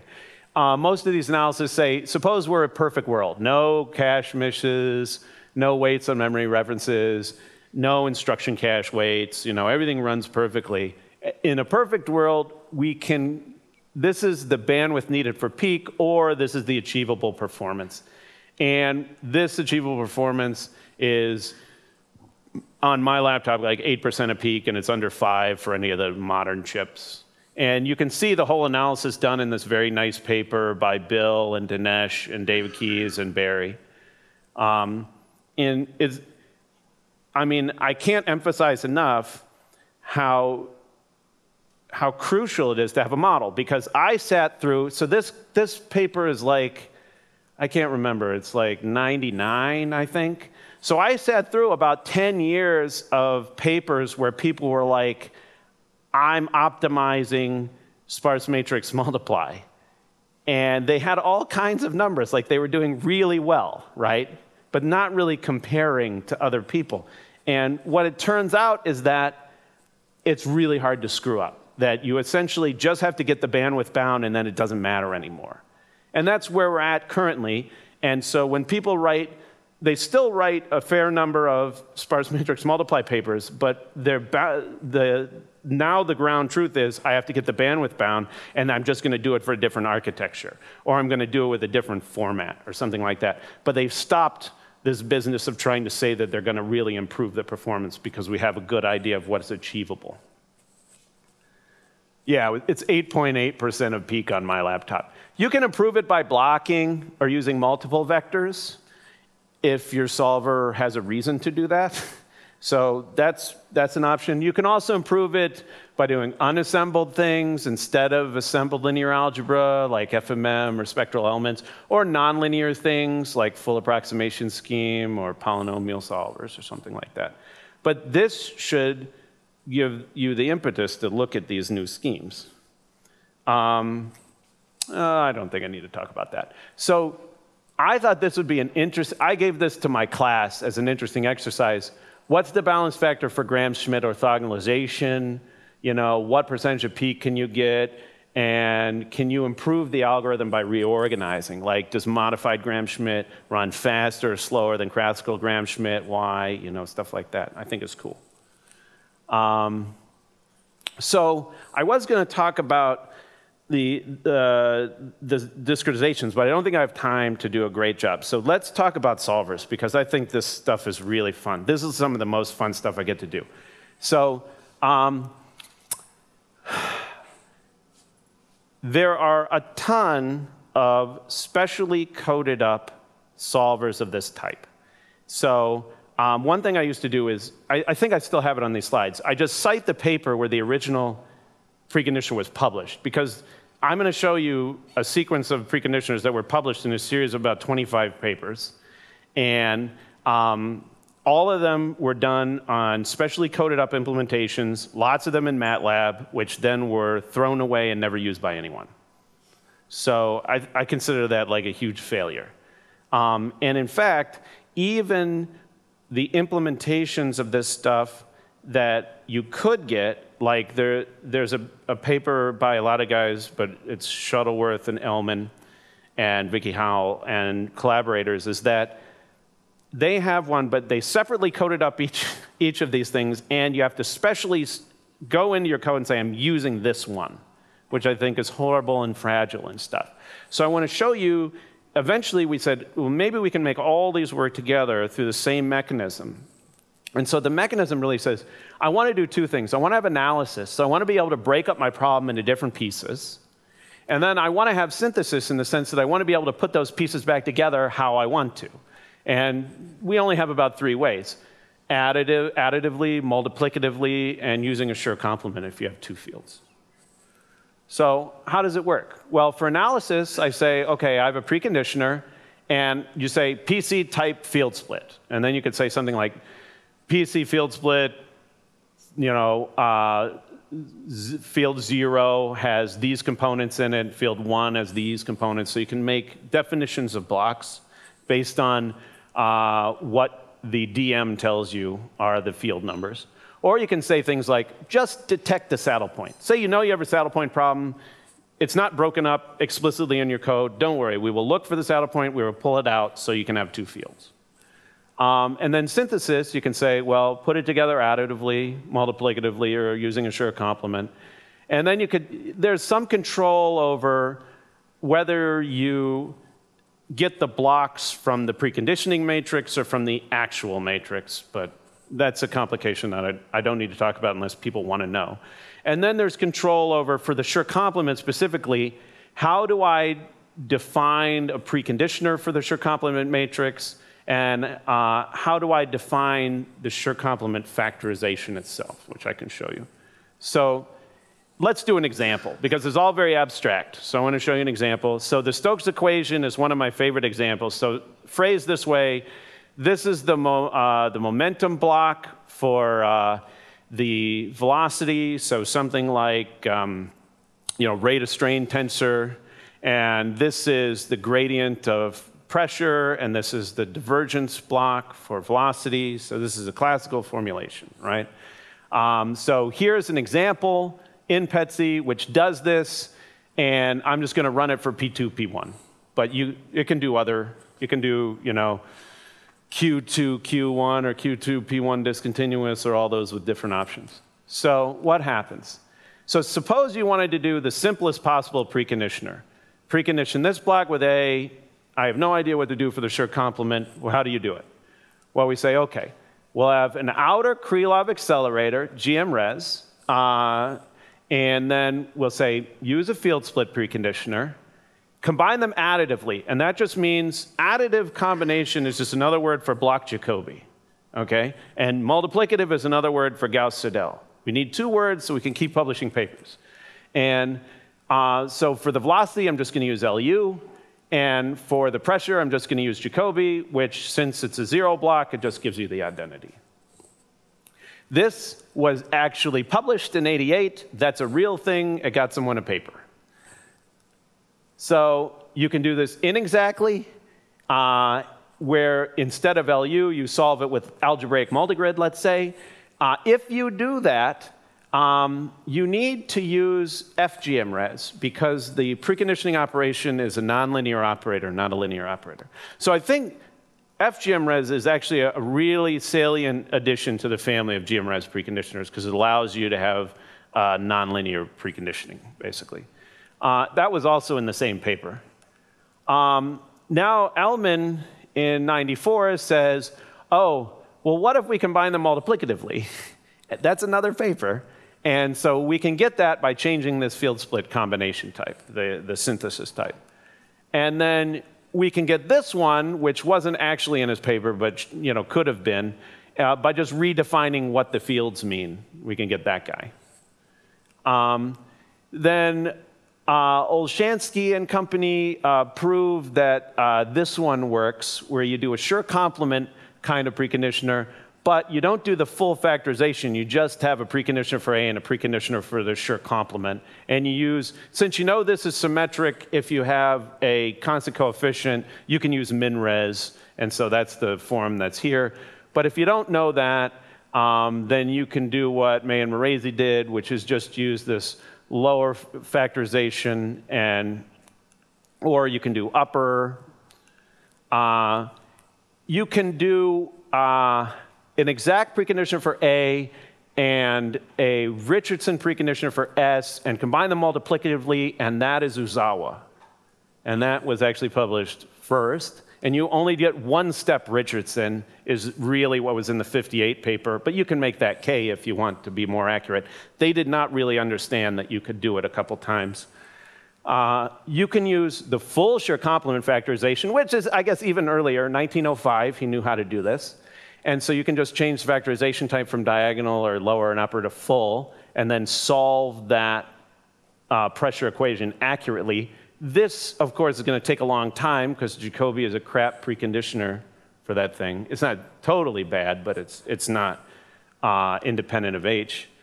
And you can say, well, what about um, something that engineers like? So Patankar and Spalding have simple, which is very, very popular in the engineering literature. How do you get it? What they say is, okay, we almost have, see, here's the full factorization, right? We almost have that, but instead of the exact A inverse here and in the Schur complement, we're going to replace it by its, the inverse of its diagonal. And you can get that by saying, oh, the inner KSP, we're just going to do Jacobi, and the upper KSP, we're just going to do Jacobi. You can do it. Um, you can do, there's a, Lowen and Wathen have something they call least squares commutator, uh, and what that is, is some uh, different approximation for this preconditioner for S down here, and you can do that. Um, and you can, so, so we can get, you know, all of these different papers easily. So you can do this in a morning and you can test everything anyone has ever published and see what actually works and what does not work for your problem. Because uh, every one of these papers that I just cited, uh, except this one, does not consider a variable coefficient for Stokes. And if you're in geophysics, everything is variable coefficient Stokes. So which one of these works is an open question, and lots of them don't. And then you, uh, then you can ask yourself, well, what if I want to do more fields? Does it just work for two? No, we can do it recursively. So imagine that we have a Stokes problem coupled to heat flow, right? Um, so what we can do is we can say, well, we have FGMRes on the outside, we have a field split, we combine it additively, put fields velocity and pressure, zero and one, in the top, and then in the second block, put just the temperature. And then for the temperature block, just solve it with LU, and it's the Laplacian. And there's no coupling because it's additive here. Uh, and then in the, and then for the uh, fluid block, we're going to do FGMRes again. We're going to do Schur complement, full factorization. Uh, we're going to do LU for A, and we're going to do uh, accurate solve for S. But then we could say, well, maybe the coupling between the temperature and the, the fluid is more is stronger. So let's instead of additive coupling, we'll do Schur complement, or no, we'll do upper, uh, and we'll do a Schur complement here with regards to the uh, to the temperature, and then we'll solve that with least squares commutator and GMRes, and uh, we'll leave this uh, upper solve intact. But we could change anything we wanted to to any of the other uh, Stokes variants up there too. And you can do this as many times as you want, and you don't have to do anything at all to your code. So it looks like that piece of five line code that I showed you before. So uh, this is the kind of experimentation that we want you to do. Look up papers where people make claims, test it easily. Uh, oh, what am I doing? Oh, yeah. So I just show you here exactly is example 62 running all these different things, you know, and you can refine the grid and do all sorts of playing around, which I did. But here is another interesting one that is not Stokes, but is a saddle point problem. And the last one is me doing it. This is Barry. And so this is even more interesting for me because I didn't do it. So Barry sent me an email one day and he said, Look, this is great. And I said, This is impenetrable. I can't understand what you're doing. So I wanted to break it down for myself. So I know he's solving the Allen Cahn equation. It's got a constant coefficient and, and 2D triangular elements. And so it's a saddle point variational inequality. I won't talk about the variational inequality aspect. I'll just talk about solving this thing. And it really doesn't play a big role. So what's going on? You know, he does this big thing and it solves it lightning fast. So what's he doing? Okay. So you can run this yourself too. So first he says, all right, um, let's do multi-grid. Let's do five levels, and let's start with a grid that's 65 by 65. Okay, so he gets it up to a grid that is, I don't know, I can't do 65 times 32 in my head, but you know, something decent. And he's doing FGMRes because he expects to do a lot of inexact stuff inside. Um, then he says, okay, uh, let's just use the Galerkin process to compute the coarse grid operators because I don't want to bother rediscretizing. Fine. It's quasi-optimal. And then he says, oh my gosh, Allen-Cahn has a null space. So uh, I need to filter out constants somehow. Um, I could, you know, go into my code and um, say, oh, I have the constant null space, and make sure it gets passed down to all the levels of multigrid correctly and set in the solvers. And maybe there's an option to do that. Um, but then what if it's only constants on one part of my system, like if you've got Stokes, you only want constants filtered out of pressure. So you can do all that, and you could uh, prescribe it, or you can just say, oh, you know what, for my coarse uh, preconditioner, just use SVD, not LU. So that'll get it right. You know, it'll just get rid of the constant mode, and um, you'll, you'll get the right solution. So this is an easy thing that we can do um, that gets rid of a lot of complication in our code. Now, maybe you want to go in and put the null space in later, but just to check, this is really easy. And then he says, okay, um, now I got to do a smoother for this thing. So what do I do? Um, well, the nice part is it's really easy to design custom smoothers because you might expect, you know, SOR is going to fail because this is a saddle point problem, and Chebyshev is going to be bad because you don't have any kind of eigenbounds. So what do you do? And what we do is we say, oh, well, for the smoother, we're going to use FGMRes. We're going to say, I know it's a saddle point problem, so detect the saddle point so I don't have to do anything in my code. And then I'll just use uh, two iterates of, of GMRes and I'll do a field split, Schur complement, full factorization, diagonal factorization, okay? Um, so it's just A and S hat, and then uh, it's, um, the, oh, the preconditioner is made from the diagonal. So it's A, it's A, S hat, and the, um, the factorization matrices, but the S hat is made from B transpose uh, D of A inverse B, right? So it's a diagonal preconditioner. That's how the preconditioners form, not the action. So he probably runs this and he's like, okay, this is working okay, but is a pretty easy, I, I think this problem can run faster, is what he's saying. So he does this, it works, so it doesn't fail with the smoother, and he's like, okay, I'm kind of all right. He says, all right, what am I going to do? The Schur complement solver is too expensive.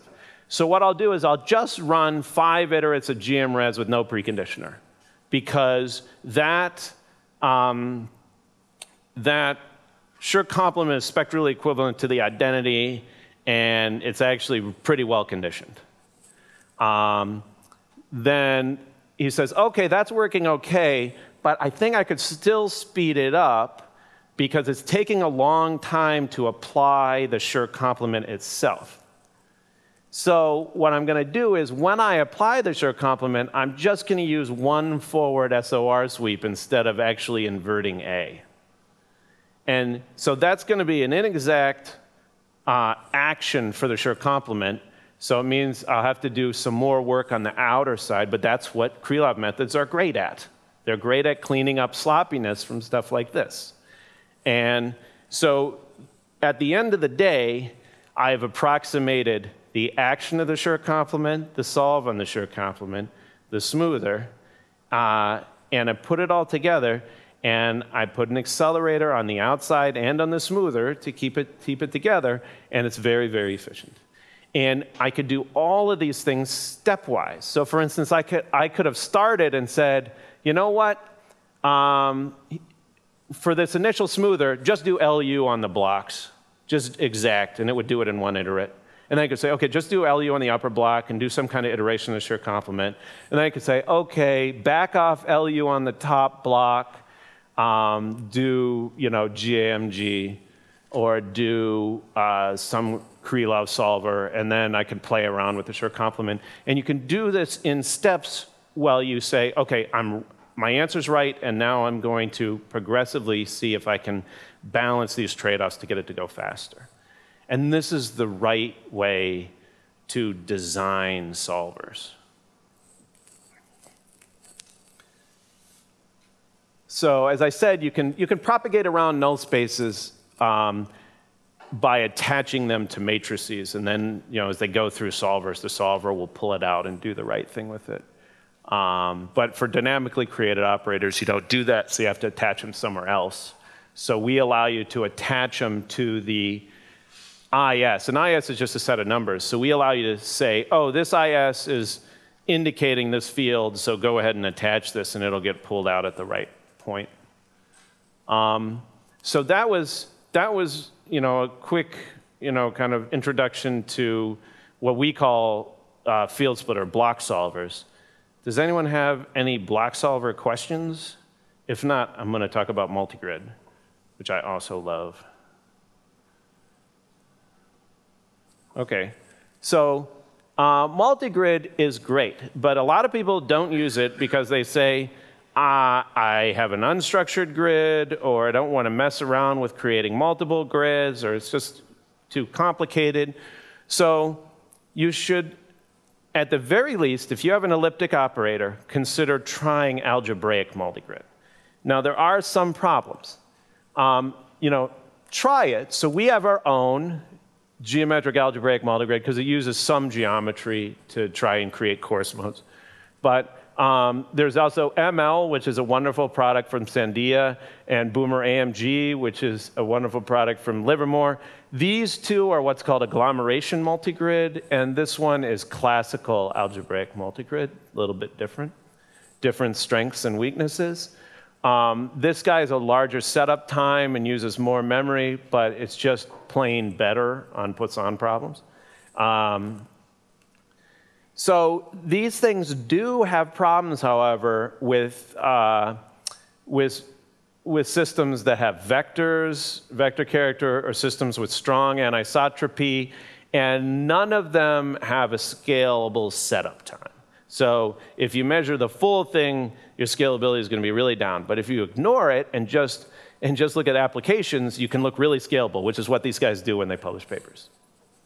Uh, so it's, it's always useful to try these things out.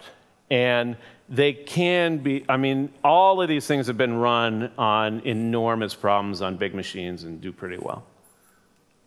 So uh, we ha also have support for geometric multigrid in PETSc where you can say, you know, that's type MG, you can set the number of levels and, you know, V cycles or W cycles and whether it's additive or multiplicative, um, whether you use the Galerkin um, projection to get the coarse operators. You uh, can control the smoother on each, each individual level if you want, and the coarse problem. And this interface also works with the algebraic packages like ML and GAMG, and it also works with the unstructured stuff so for instance, I have unstructured multigrid examples where you use, uh, you take in, you read in a mesh, then you use pragmatic to create coarse uh, approximations to that in a hierarchy, and then you can control the unstructured multigrid with these things. Just, uh, we have really naive uh, local projection right now, so you could imagine that you could improve that, but you want kind of a operator-dependent projection the way AMG does it. So you want some hybrid, and that's what we are trying to get at with this, but it's not there yet. Um, so let me just show you examples, because I think if you've never run it before, you have never seen the awesome glory that working multigrid really is, okay? Uh, So here's an example. So if you have PETSc on your machine, which at least 50% of you do because we installed it, then you can go to um, the SNES examples. So sort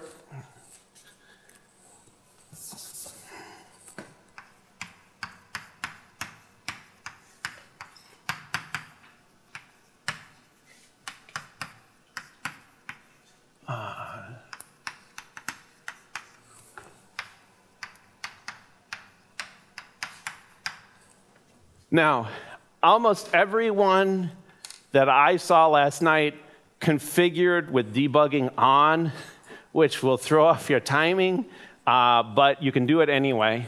Uh, but I would recommend running this again by making another configuration, which is debugging off. Uh, you can run this thing. So what we do is we start on a 21 by 21 structured grid. I'm running all structured grid problems because it's just easier to understand, but these, this all works with unstructured if you want. Uh, we'll solve to 10 to minus 9. Um, we'll refine six times and use four levels of multigrid. So we refine up and then we come down four levels. You can choose whatever mix you want of that. And uh, this will just show you exactly what solver used. So the default um, smoother is Chebyshev 2 with Jacobi preconditioning, so it's totally linear. Uh, and uh, this problem will have about one and a half million unknowns and eight million non-zeros because it's only 2D. And you should be able to solve this if you're optimized in a couple of seconds, or if you're running debug on my slow machine, it'll solve in under 30 seconds. So what this is, in a matter of seconds, you can be solving problems with one and a half million unknowns. So that should be your expectation okay? You should not be solving 50,000 unknown problems in like minutes. That's just wrong. Uh, and so this, this is just to give you an idea about what is possible. Say you're doing 3D. So this is, this is a very simple uh, Laplace, it's Bratu. So it's a nonlinear perturbation of Laplace. This is a real problem. It's an ice sheet. So it is you know, thin uh, sheet approximation ice sheet, but it has a nonlinear boundary condition. I mean, it's, it's really complex and has been used to write papers. So it has about the same number of unknowns, but you can see about 10 times the number of non-zeros or more uh, because it's 3D and it's got a lot of fill. Um, and we just start, uh, the coarse problem is pretty coarse. Uh, we refined five times. Uh, I changed the matrix type to make it a little more efficient. And um, that's all we have to do. And this thing will run on my laptop in like, I don't know, two or three minutes. Um, but if you're optimized on a new laptop, it should be under a minute, I think. And this is the kind of amazing, amazing performance that you can get out of multigrid when it works. Uh, and I would consider that when I'm doing new stuff. So if you think that you have to take a thousand iterations of something, I would really question whether that is the truth. I would never do that, honestly. Uh, after 10 iterates, I start getting really nervous. So, I, and, and a lot of people, um, even that run multigrid, uh, I think are unacquainted with full multigrid. So I want to talk a little about it because I think it's underappreciated, okay? Most people, when they think about multigrid, what they think of doing is running a bunch of V cycles and putting them together with a Krylov accelerator. That's a perfectly fine way to do things, but it is usually slower than full multigrid if full multigrid is working. So Krylov accelerators are for the case where multigrid is broken and they fix it. If, you, if it's working, like in these prior examples, then you should do this, full multigrid. So what is it? Full multigrid is the case where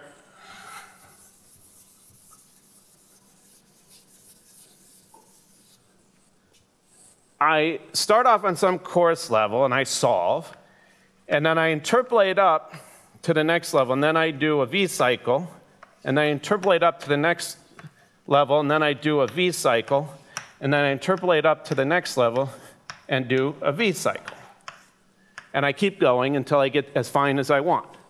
Now, uh, how much work is this compared to the method you're used to? Okay. Um, well, there's a V cycle at the end. So there's at least one times the cost of a V cycle, right?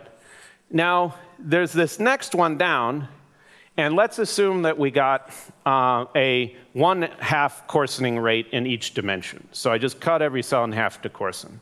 Uh, so the next one down takes 1 over 2 to the d uh, cost of this V cycle, and the next one down takes that. So you can do the sum, and it's 2 to the d over 2 to the d minus 1. So in 3D, this is 8 sevenths of CV. So this is about 16% more expensive than just doing one V cycle. So if you do two V cycles with a Krylov method, this is a lot cheaper. So if this is works, um, then you should do this. And in fact, this is only 8, 8 7 squared, you know, 64 49ths, as expensive as just doing this two-level scheme. So it's amazing the kind of leverage that you get from these multi-level methods. So, you know, I write it down here. In 1D, they don't look great, you know, but in 3D, it's amazing. And so I want to show you an outline of the proof that says that full multigrid converges in one iterate. You know, and I think it's really instructive. So suppose that you have a method that is order alpha. And what do I mean by this? I mean that the discretization is alpha accurate. So if I have the error in my method as a function of h, um, it goes uh, h to the power alpha. Okay? So for some linear discretization, uh, this would have order 2 normally. Um, so let's talk about the different kinds of error. What's the difference between discretization error and algebraic error? So discretization error is the error I make by approximating my continuous uh, function by discrete function that fit on my computer. Algebraic error is the error I make solving my equations with some iterative solver, let's say. Now, uh, what I'm going to do is I'm going to say, well, I'll just, it doesn't make sense to solve my equations any more accurately than my discretization, really, because it's just wasted work. It's kind of meaningless accuracy. So what if I say the algebraic error, I'm just going to bound by r times the discretization error, where r is some number less than 1, okay? Then the total error, which I'm going to say is this, the bounded by the sum of these two errors, would just look like this. Now, suppose that I'm just finishing the V cycle for the coarse grid. So I'm just finishing this guy. Let's say I'm over here. Uh, now I'm going to use that as a coarse correction for the next grid up, this guy. And then I'm going to perform the final V cycle here. So I need that the V cycle air reduction factor, eta, uh, on this guy gets me to this R reduction in the algebraic error. That's kind of what I need in order for the whole cycle to work. So the question is, what kind of eta, what kind of, of accuracy or reduction factor in my V cycle do I need in order to get the whole uh, operation to close? So let's take a look. So I need eta algebraic error to be less than R times the order of the method, right? So I can just do this obvious manipulation and get a bound on eta. Um, so what this says is suppose I stick in alphas to and R is one half. So suppose that I solve to, to one half discretization error.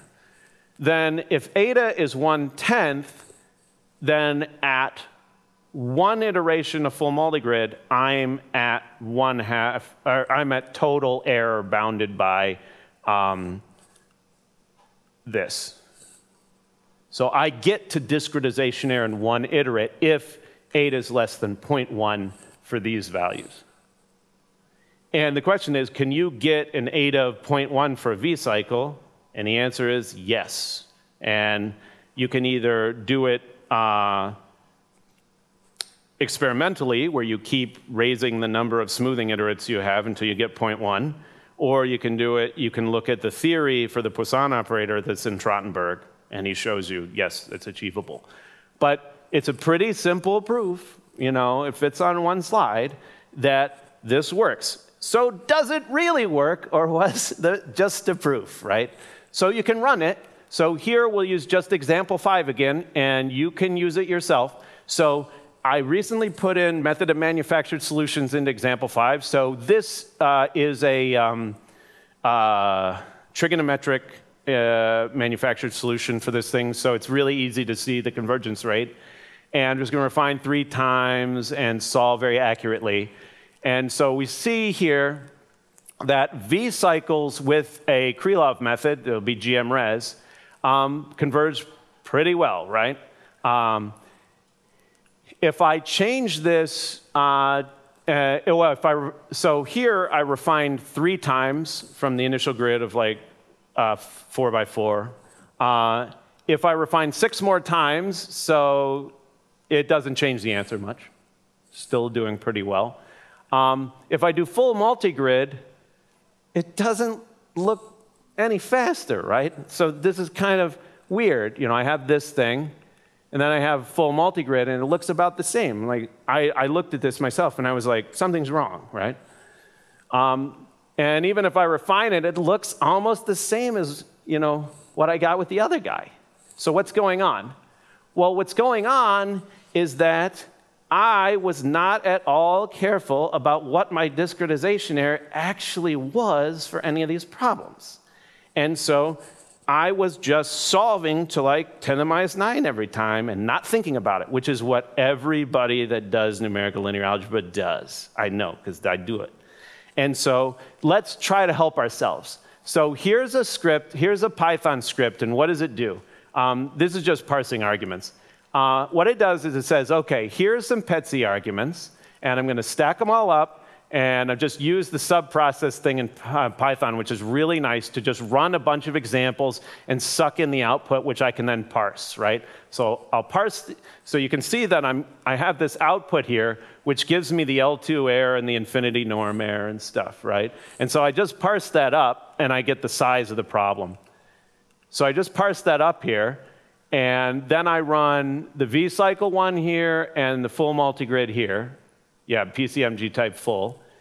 And um, then I get matplotlib, which is simply fantastic, and I do a plot of this error, and you can put TeX in here. I just love this. And I'll just make this graph. So what does this show? I'm going to do, oh, I, I, have to go back to the uh, things. I'm just going to do one iterate uh, here uh, it'll just do one iterate because I'm going to set a really high tolerance. And so what I see is at, when I only do one iterate, here's on the uh, GMRes uh, V cycles, I get a convergence rate that is square root of what I expect from my theory. Whereas if I do one iterate of FMG, I'm getting the right convergence. So I am getting discretization error in one iterate with FMG. So what I do is the, the solid line is the data, and the dotted line is the um, uh, theoretical prediction. And what you can see here is probably solver uh, noise, right? Where uh, my algebraic and discretization are, are close, so it starts wibbling around a little.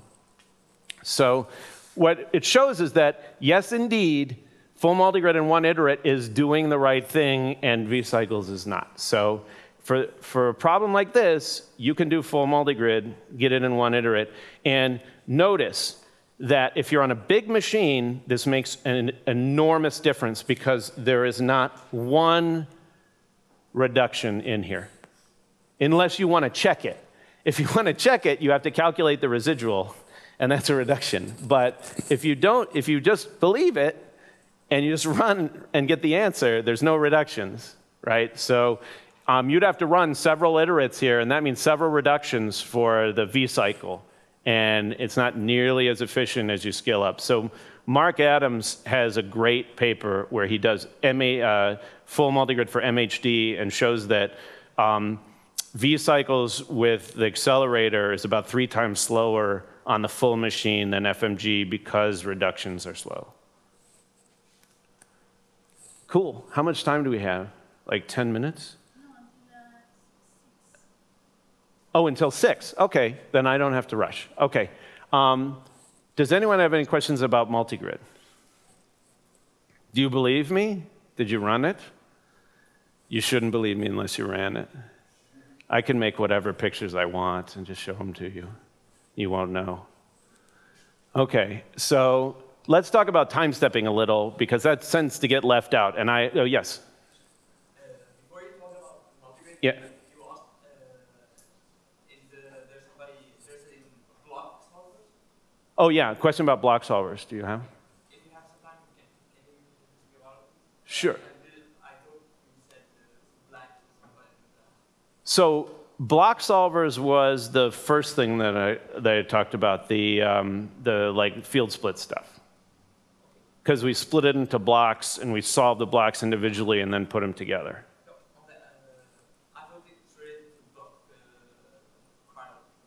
Oh, no, block is a little different. Yeah, that's, that's a different thing. Yeah. So let's talk about time stepping. So PETSc's time stepping used to be really bad, and so I never used it. Um, but uh, Jed Brown and Emil Constantinescu and uh, Peter Brune made it, you know, really usable. Um, they put in lots of neat methods. For, people that know about time stepping will know that these are good. But I can tell you the main things that I'm interested in is I'm interested in IMEX methods, so where I kind of use implicit stuff to integrate over the fast wave and then explicitly step other parts of it. And I'm interested in uh, some of these SSP methods. Um, what are SSP methods? Uh, like uh, Dave Ketcheson from KAUST works on them a lot. They are methods that say if you have a stable space scheme, then these are guaranteed to be stable, which is a beautiful property because usually there's an interplay and you have, you have to um, constrain your time. Sta- uh, the stability depends on both delta t and delta x, and here we can separate concerns.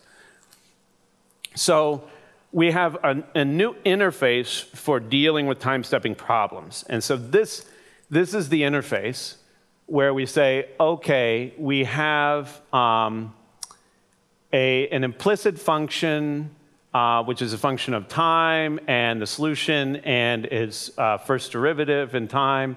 And there can be an optional um, function that is uh, on the right-hand side that's just a function of uh, time and the solution. So you can specify the right-hand side, and you can specify the implicit function and its Jacobian if you want, or we'll compute it. Um, what this allows you to do is this allows you to specify a problem such that um, you could use an IMEX method because you know what the explicit and implicit parts are. You could use a fully implicit method, and we just dump this into the other side. You could use a fully explicit method. We just dump this onto the other side and put uh, use of t here. And uh, so we have a lot of flexibility. We have Rosenbrock methods and other things. And so let me show you an example of this. So this is TS example 22 if you want to look in the source. So that means source TS examples tutorials ex22.c. And this is a link, and that'll bring it up in your web browser if you have these open. So let's look at advection reaction. So here's the advection part, and here's the reaction part. So we have a simple boundary condition.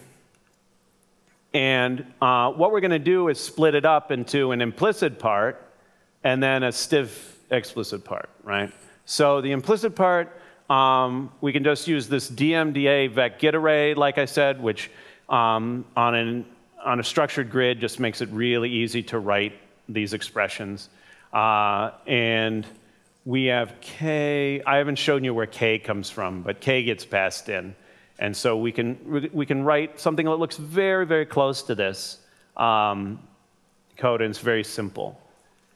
And then the Jacobian is not that much harder to write, right? It, so um, it's just, uh, so the, the complication here is that the Jacobian has two parts. It's like d, g, d solution, and then there's a dg, d solution dot, right, part. And what we prescribe is that the way we want you to write the Jacobian is this we want dg du plus a dg du dot. Okay? And then we give you the a because of most time stepping methods, all the ones that we have want a Jacobian of this part with some specified a that, is in, that the solver is in charge of.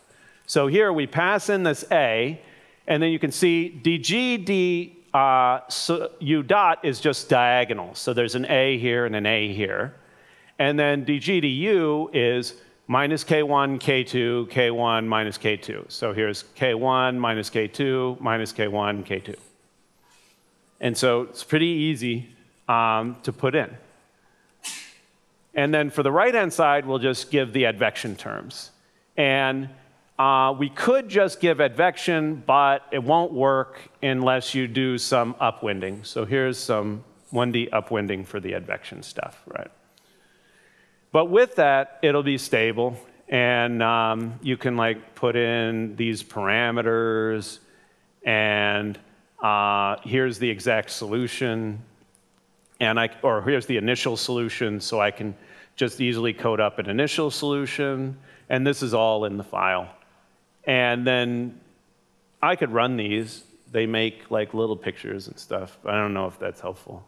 Uh, you can run them, and like here it just says draw the solution, and we we can use a Ross W type. What you can see is that um, some of these are unstable, and then when I cut the time step down, like this is unstable, and then I cut it down and it's stable, or that's unstable and that's stable.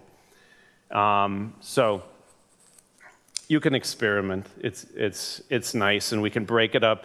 So here you can use an IMEX method because I split it into two parts. So you can use IMEX or Ross W, which is a semi-implicit method. Um, we can also do reaction diffusion, so that's not stiff anymore. Uh, so then we could say, well, we're going to use this part implicitly and we'll do explicit on the, the source terms.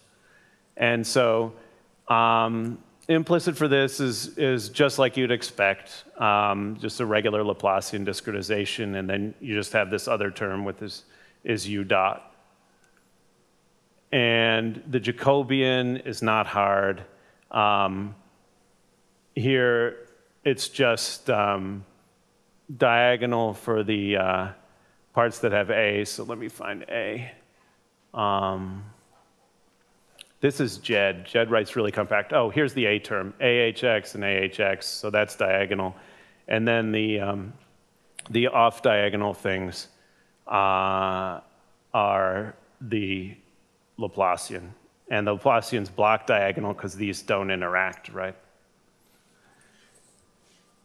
So the right-hand side is just this source term, and so it's point-wise, there's no differential operators there. And then we could put in those kind of uh, parameters, and then this, this initial data, and we can run do you want to do you want to see run any of this stuff? I don't know. Is it can people run this? It's easy to run. Uh, I'm trying to remember why I suggested these, but now I'm curious. So let's do it. It's not hard. Um, I just have to remember where I have my. Must be here. It's like this reorders all of my stupid windows. Yeah, here we go. Okay, so I was debugging someone's configure thing. Um,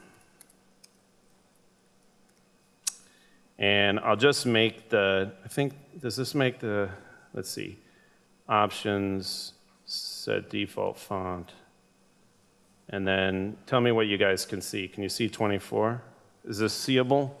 Yeah. So um, first thing you do is, first thing I do is what's the name of my arch? So I think it's arch master debug. Okay, then I can go down into the examples directory and I can say, okay, PETSc arch equals arch dash master dash debug. And then I can make the example. Okay. And then I can try running it.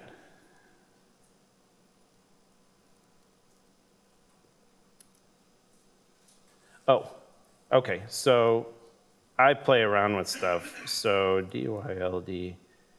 Um,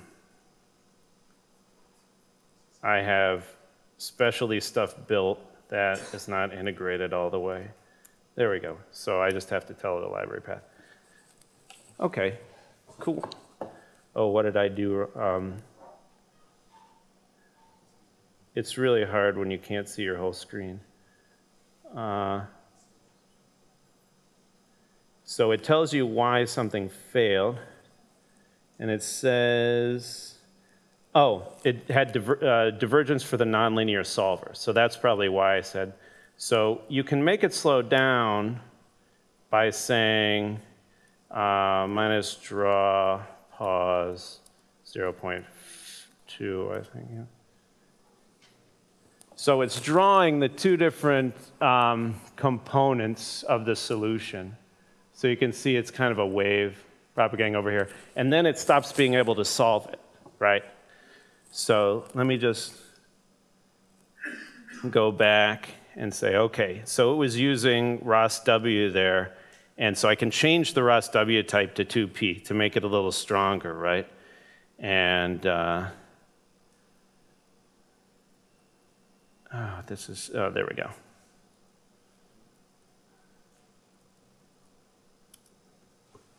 Ah. Oh. I gotta go up and get that.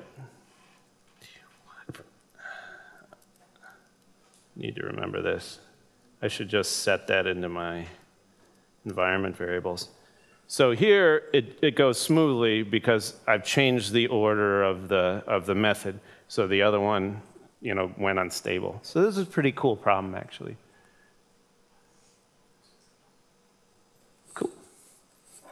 And I wonder what the last thing I did is. The last thing is, so same grid, draw the solution. Um, oh, and then you can have a non-adaptive. That's not that much more interesting. So the Brusselator thing, you can see, you can get pattern formation and stuff from a pretty simple system that does feedback in the source terms. So it's linear in the implicit part, but you get source feedback and it makes complicated patterns. So we also, so those were like pretty simple, you know, 2D or 3D, or I mean, you know, very um, simple time stepping things without a complicated spatial discretization.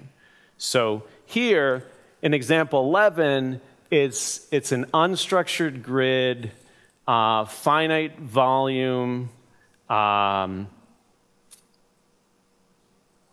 adaptive code that can do advection, shallow water, and Euler as an example. So let me just play you a video. I think I have the Euler video up. It's like, oh, I know I do. It's kind of a pain. Oh, is that it? Yeah. So here is uh, well, I, I, would like it bigger. Yeah. So here is um, example 11. So example 11, it can do unstructured with dmplex or st uh, structured adaptive with dm forest, and you can just choose that on the command line. So I chose dm forest so that it'll adapt along these things. And then there's a density discontinuity over here on the right. This, this continuity is just the uh, initial pulse. And we just have a pulse coming to the right and hitting that discontinuity. And I think I'm plotting um, density, yeah. So you can see like there's refraction and the shot goes through. So we can do, um, you know, nice high Reynolds number shock physics uh, we, with these tools. I mean, certainly this is not a code that I would use to design uh, any engineering things yet, but it has all the ingredients. Um, you can do, so right here I'm doing reconstruction for the finite volume method And this is a, totally conservative scheme. Well, it's, it's so-called TVD, second order TVD, which is supposed to be impossible, right? But whatever they decide to call TVD, this is. And it's adaptive on the gradient. Now, it would be nice to be able to solve the adjoint problem and use the adjoint solution to adapt this instead of just the gradients, but we're getting to that. This is a little more complicated, but there's some support for that. Okay. Okay.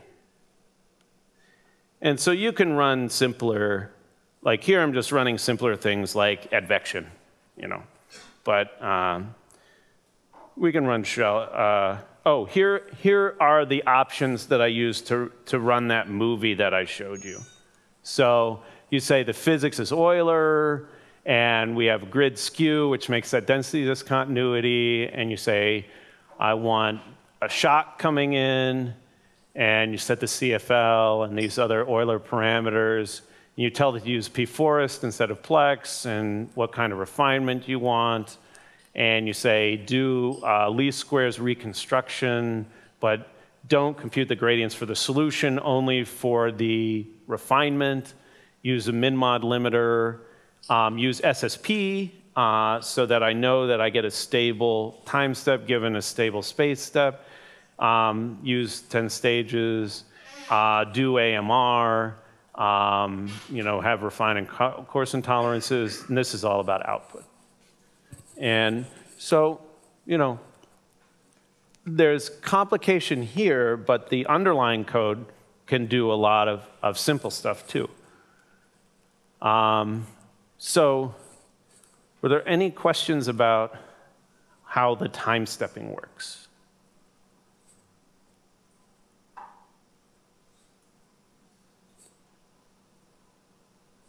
Okay, so we have some time, so I could talk about how the discretization stuff works if you guys are interested.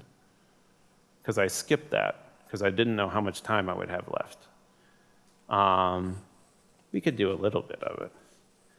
So I just wanted to talk about structured meshes and unstructured meshes. So the structured mesh support I want to talk about because it's, it's simple and it shows you a lot of the ideas. So we have an we have an object we call DM, and that's basically manages all the discretization information.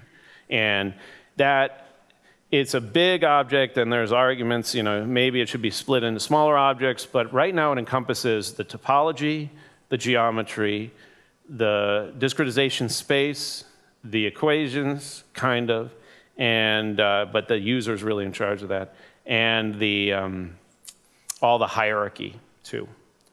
So how does it work? Well, it knows how to give you members of the space, and it knows how to map between, we, we normally have an idea of two different spaces. We've always had an idea of two different spaces. And these are basically, um, we call them local and global. And originally, it was just for parallelism. The local space had the ghosts that you share with other processors, and the global space didn't. But then when I started doing more PDE problems, then I said, oh, well, the local space has unknowns that are constrained by Dirichlet constraints and ghosts, and the global space doesn't. Okay, well, that overloading was okay, except if you do something like BDDC, it wants a different local space. It doesn't want the local space that I had. So we had to define a third space that only applies for what the MAT-IS class. So what we'll probably go to is defining a collection of spaces and they have names instead of just having global and local. But that's what we have now. So it also knows about geometry and it knows about the layout of unknowns, which is the main thing I want to talk about. It knows about hierarchy, which I won't get into unless you ask me. And this is just more about hierarchy. So the DM interface is basically uh, some callbacks that you fill up um, to, or I fill up to tell the solvers about the discretization. And then um, our solvers, like multigrid, use this information uh, to construct the solver, and but they're basically in charge of control flow. So PCMG gets the projectors like restriction, interpolation from the DM. Says, okay, how do I get between spaces? And it gets the operators from the DM. And then it organizes it. It says, oh, if it's a V cycle, I'll do this. If it's full multigrid, I'll do this. If it's W, I'll do this. And so it's about organization, not about data. And the DM is basically managing the data. So how does this work for structured meshes? So as I said, DM manages topology, it manages geometry, um, and DMDA is no exception. So uh, it has local callback functions. Form the residual locally, form the Jacobian locally, and then PETSc puts them together. So, you know, the, the kind of cartoon picture uh, for global and local looks like this.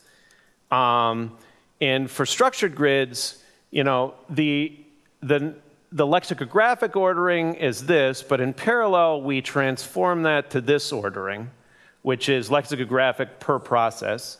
And then when you output, it does a global permutation and puts the vector in the lexicographic ordering for you. That way, output is independent of the number of processors that you ran with. So you can run with 82 processors, write to disk, and later load it up and run on 71, and there's no problem because it automatically does the permutations for you on input and output. Um, also, these are, these are both global orderings. The local ordering renumbers so that you get a patch that includes the ghost. That way you can write stencil code without caring what's a ghost and what's not a ghost. So the local function that calculates the residual looks like this. Give me information about my local piece of the grid. Give me uh, a multidimensional array with the uh, input uh, solution guess and I will output my residual in another multidimensional array, and then you can pass in user information in the context. So here is the Bratu equation, right? So this info says, oh, here's your piece of the grid, loop over it, and then I will calculate my residual. If I'm on the boundary, and these are global numbers, then just use uh, the diagonal. But if I'm not, form this equation. And so it just looks like a simple stencil code, um, but this will work on any number of processors with any division that's blockwise and stuff like that. So um, this, is the, I, this is our idea of how you write code um, that can be independent. And then, you know, my, my job was to take something like this, which has existed for many years, and turn it into something that will also work this way for unstructured stuff or for structured adaptive stuff. Um, and then the same thing for the Jacobian.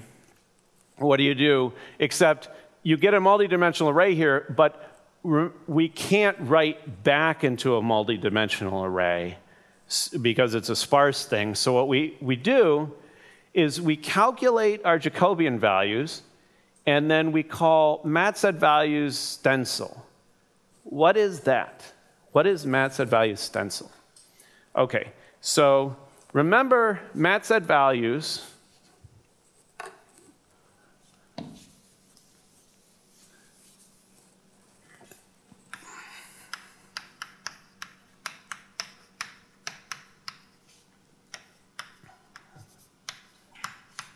And then uh,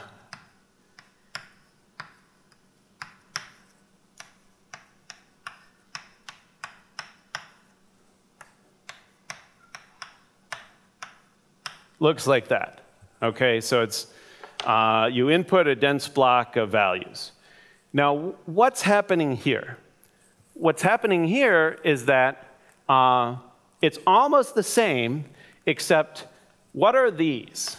These are global indices. Okay?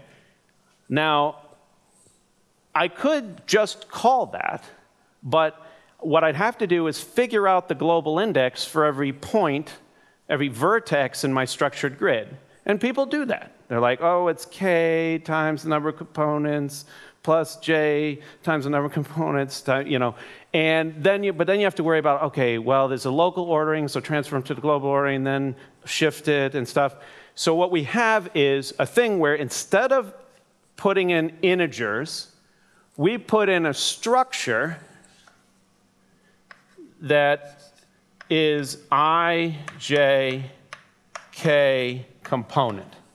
So you can see that what I do is I say, okay, row.i is i, row.j is j, and if you don't set the component, it's just zero, you know? And what Mat set value stencil does is it just translates this ijk into a global index and then calls Mat set values. But it just makes the code a little easier to write. Now, I do the same exact trick for unstructured, but I, it's a little more general. I'll do something like this.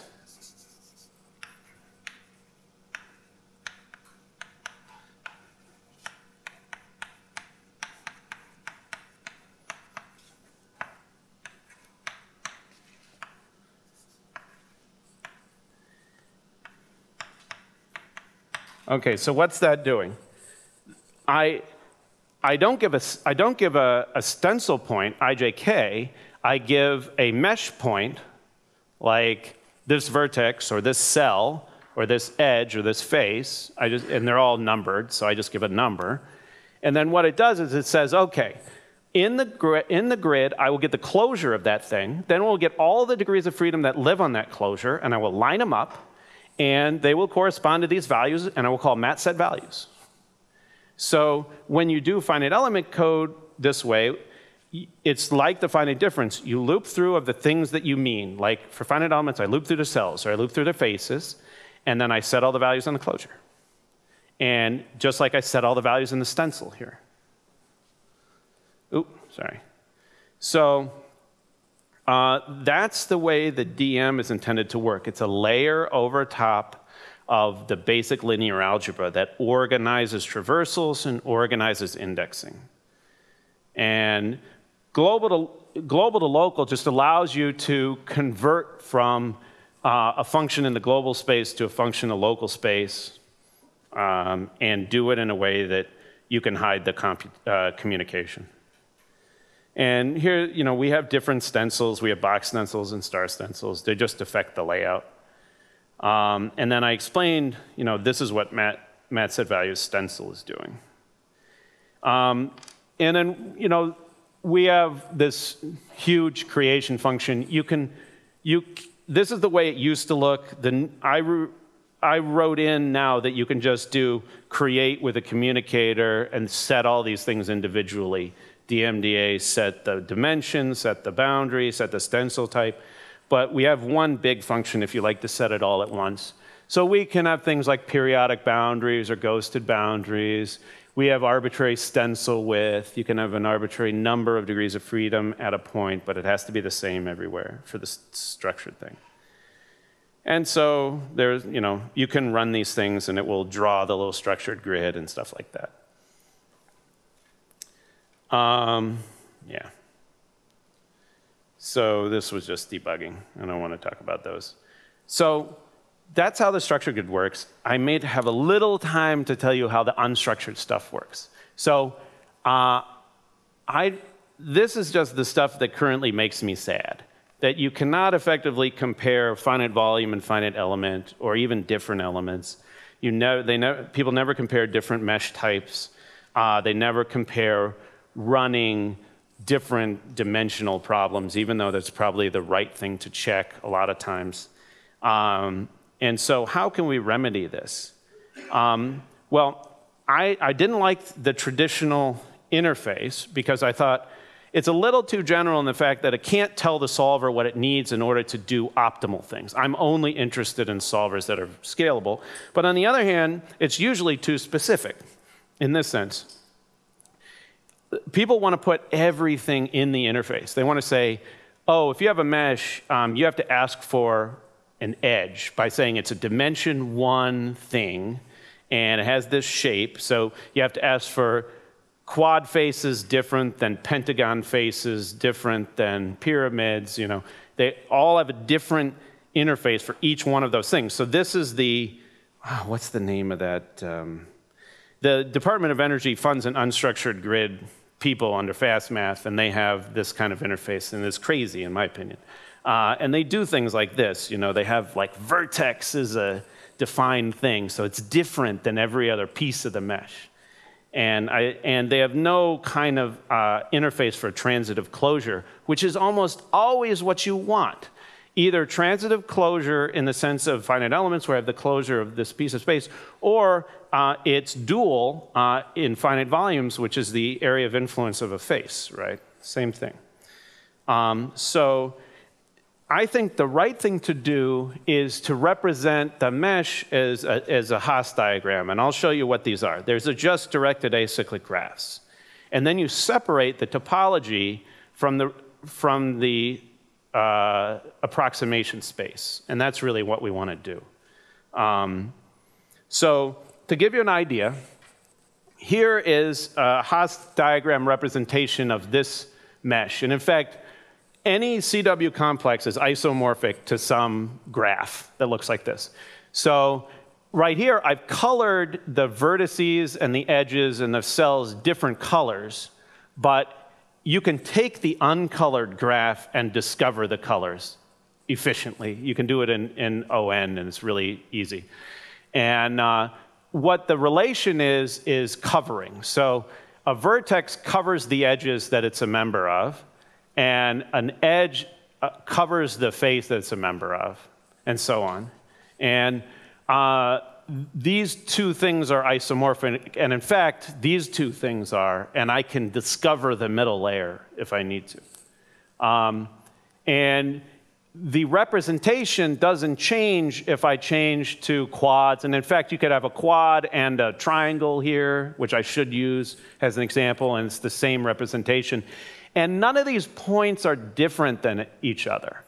And you can subtract out the middle. You can do it in 3D now. You can you, you know, I, I color them in four levels, but it's just a DAG. So you can strip off all the colors and it's the same DAG. So you don't have to have levels, it's just bigger. And I can subtract out any one of these layers that I want and recreate it. Um, so I have a single relation. I can get the dual by just turning the arrows around. So I can get the dual graph without any kind of computation because I have the arrows. I just follow the arrow back up, and I have the dual. Uh, so you don't have to compute the dual. Um, you can, uh, and what I'm going to do is I'm going to associate functions with these points, and that is our normal idea of functions in the dual space. They're associated with the topology in a sense that everything in the, in the closure of the guy, the dual closure actually, is the domain of influence of the function.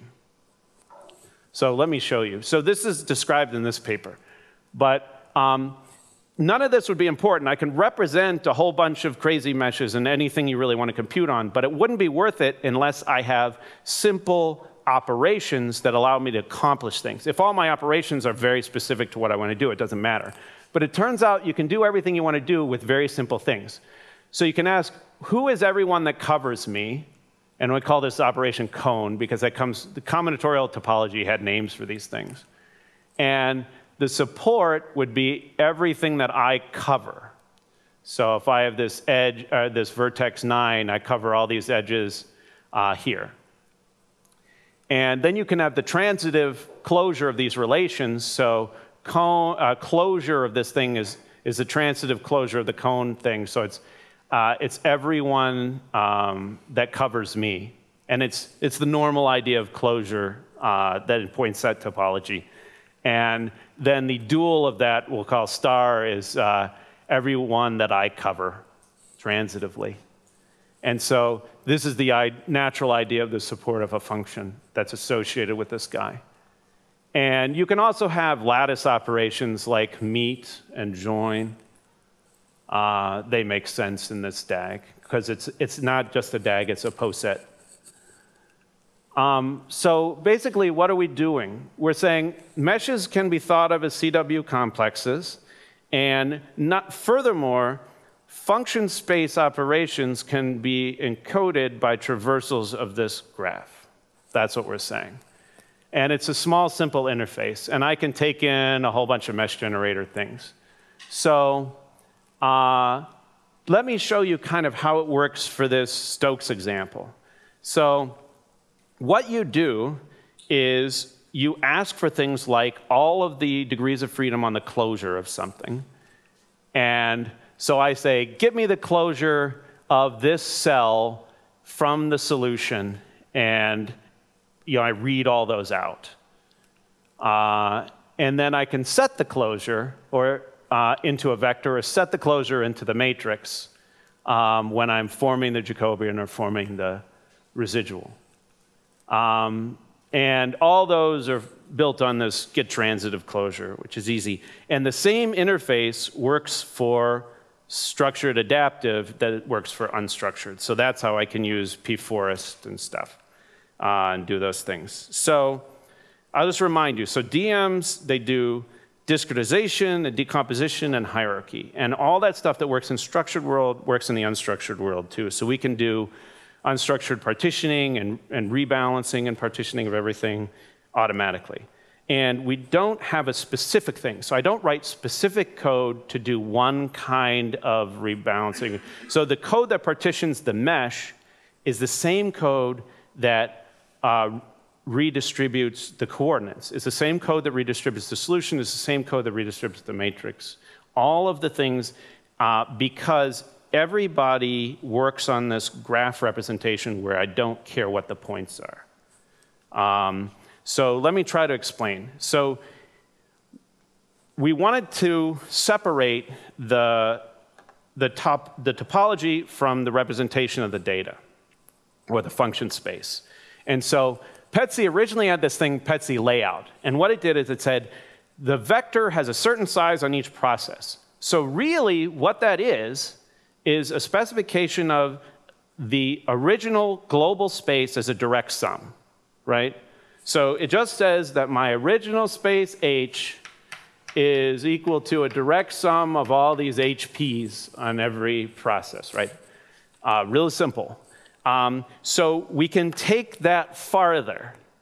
Uh, what we can do is we can say that our space, our discrete space, is a direct sum of little spaces associated with each of the vertices or each of the edges and vertices.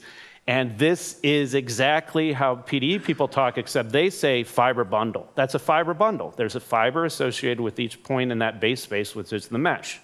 And so that's what we do. So we generalize this idea of a layout. Layout just had um, a size for every processor. Now we're going to say, well, you, instead of processor, let's just generalize it to any point. We'll call them points. So we have points in the mesh, and each one of them can have degrees of freedom. And then we will say, okay, there are three degrees of freedom here, two here, and five here. And that is enough information for us to do layout, to do adjacency computations uh, for matrices, to do anything you want as far as the solver goes because the solver doesn't have to know anything about the analytics. And so what it does is it decouples the mesh from the discretization, because the mesh handles traversal, but the discretization is just handling sizes. And so they don't have to, you can substitute a new discretization on the same mesh or a new mesh with the same discretization and it works okay. Um, it decouples the mesh from the solver because now the solver doesn't have to care about topology at all. It just really cares about sizes and partitions and this information is in there. And it decouples the discretization from the solver because now you just talk through this object that understands sizes. So imagine something like this. We have this object which just says, um, how many degrees of freedom are there per dimensional object? This is a simple way of thinking about it. And this gets translated into the full offset structure. So like three degrees of freedom on every uh, on every vertex here and uh, one degree of freedom on every cell, three degrees of freedom on every vertex, face, edge, uh, cell and, and one degree of freedom per vertex here. So it's easy to specify these kinds of discretizations in this language. And then we can create this at a low level, and this is what it looks like for Stokes, you know. Um, and then when you ask for the closure, you get something like this. Except then we reorder it to segregate by field. So you can easily use it. And this is the last thing I'll show, but I think this is the real power of this stuff, is that if you have that kind of information, you can use um, the information about what's shared to kind of push up. So let me give you an example. Suppose you had a section where you said, okay, the points are processes and the degrees of freedom are mesh points. So this is a partition. Which process has which set of mesh points? So I have uh, some section object that tells me that. And then if I, if I know my process neighbors, then I can push up and get shared points out of those two. And then uh, if I then said, oh, well, let the point space be mesh points, and then let the degree of freedom space be mesh points, then what you have is a topology, which mesh points are covered by other ones. And topology plus shared points gets shared topology. So you can push up from distributing the points to distributing the adjacency. And it's the same code. The same code for this arrow does this arrow. And then if you have, again, mesh points, but then the degree of freedom space is how many solution degrees of freedom for each mesh point, then that's the data layout. With the shared points, you can push up shared degrees of freedom. So that's adjacency for the solution space, not for the topology. Same code. Every up arrow is the same code, nothing changes. And you can get, this is shared degrees of freedom. Then you could get shared adjacency for the Jacobian, which is, um, you know, one layer out or k layers out, same code.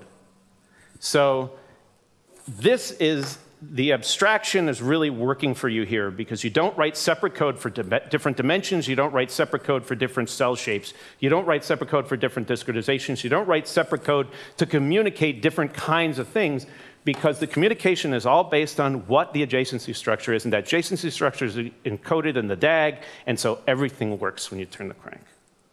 Okay, that's it. I have a lot of slides on forming residuals, but we don't have time. So I think we'll end. Okay, so let's thank Matt for the tutorial.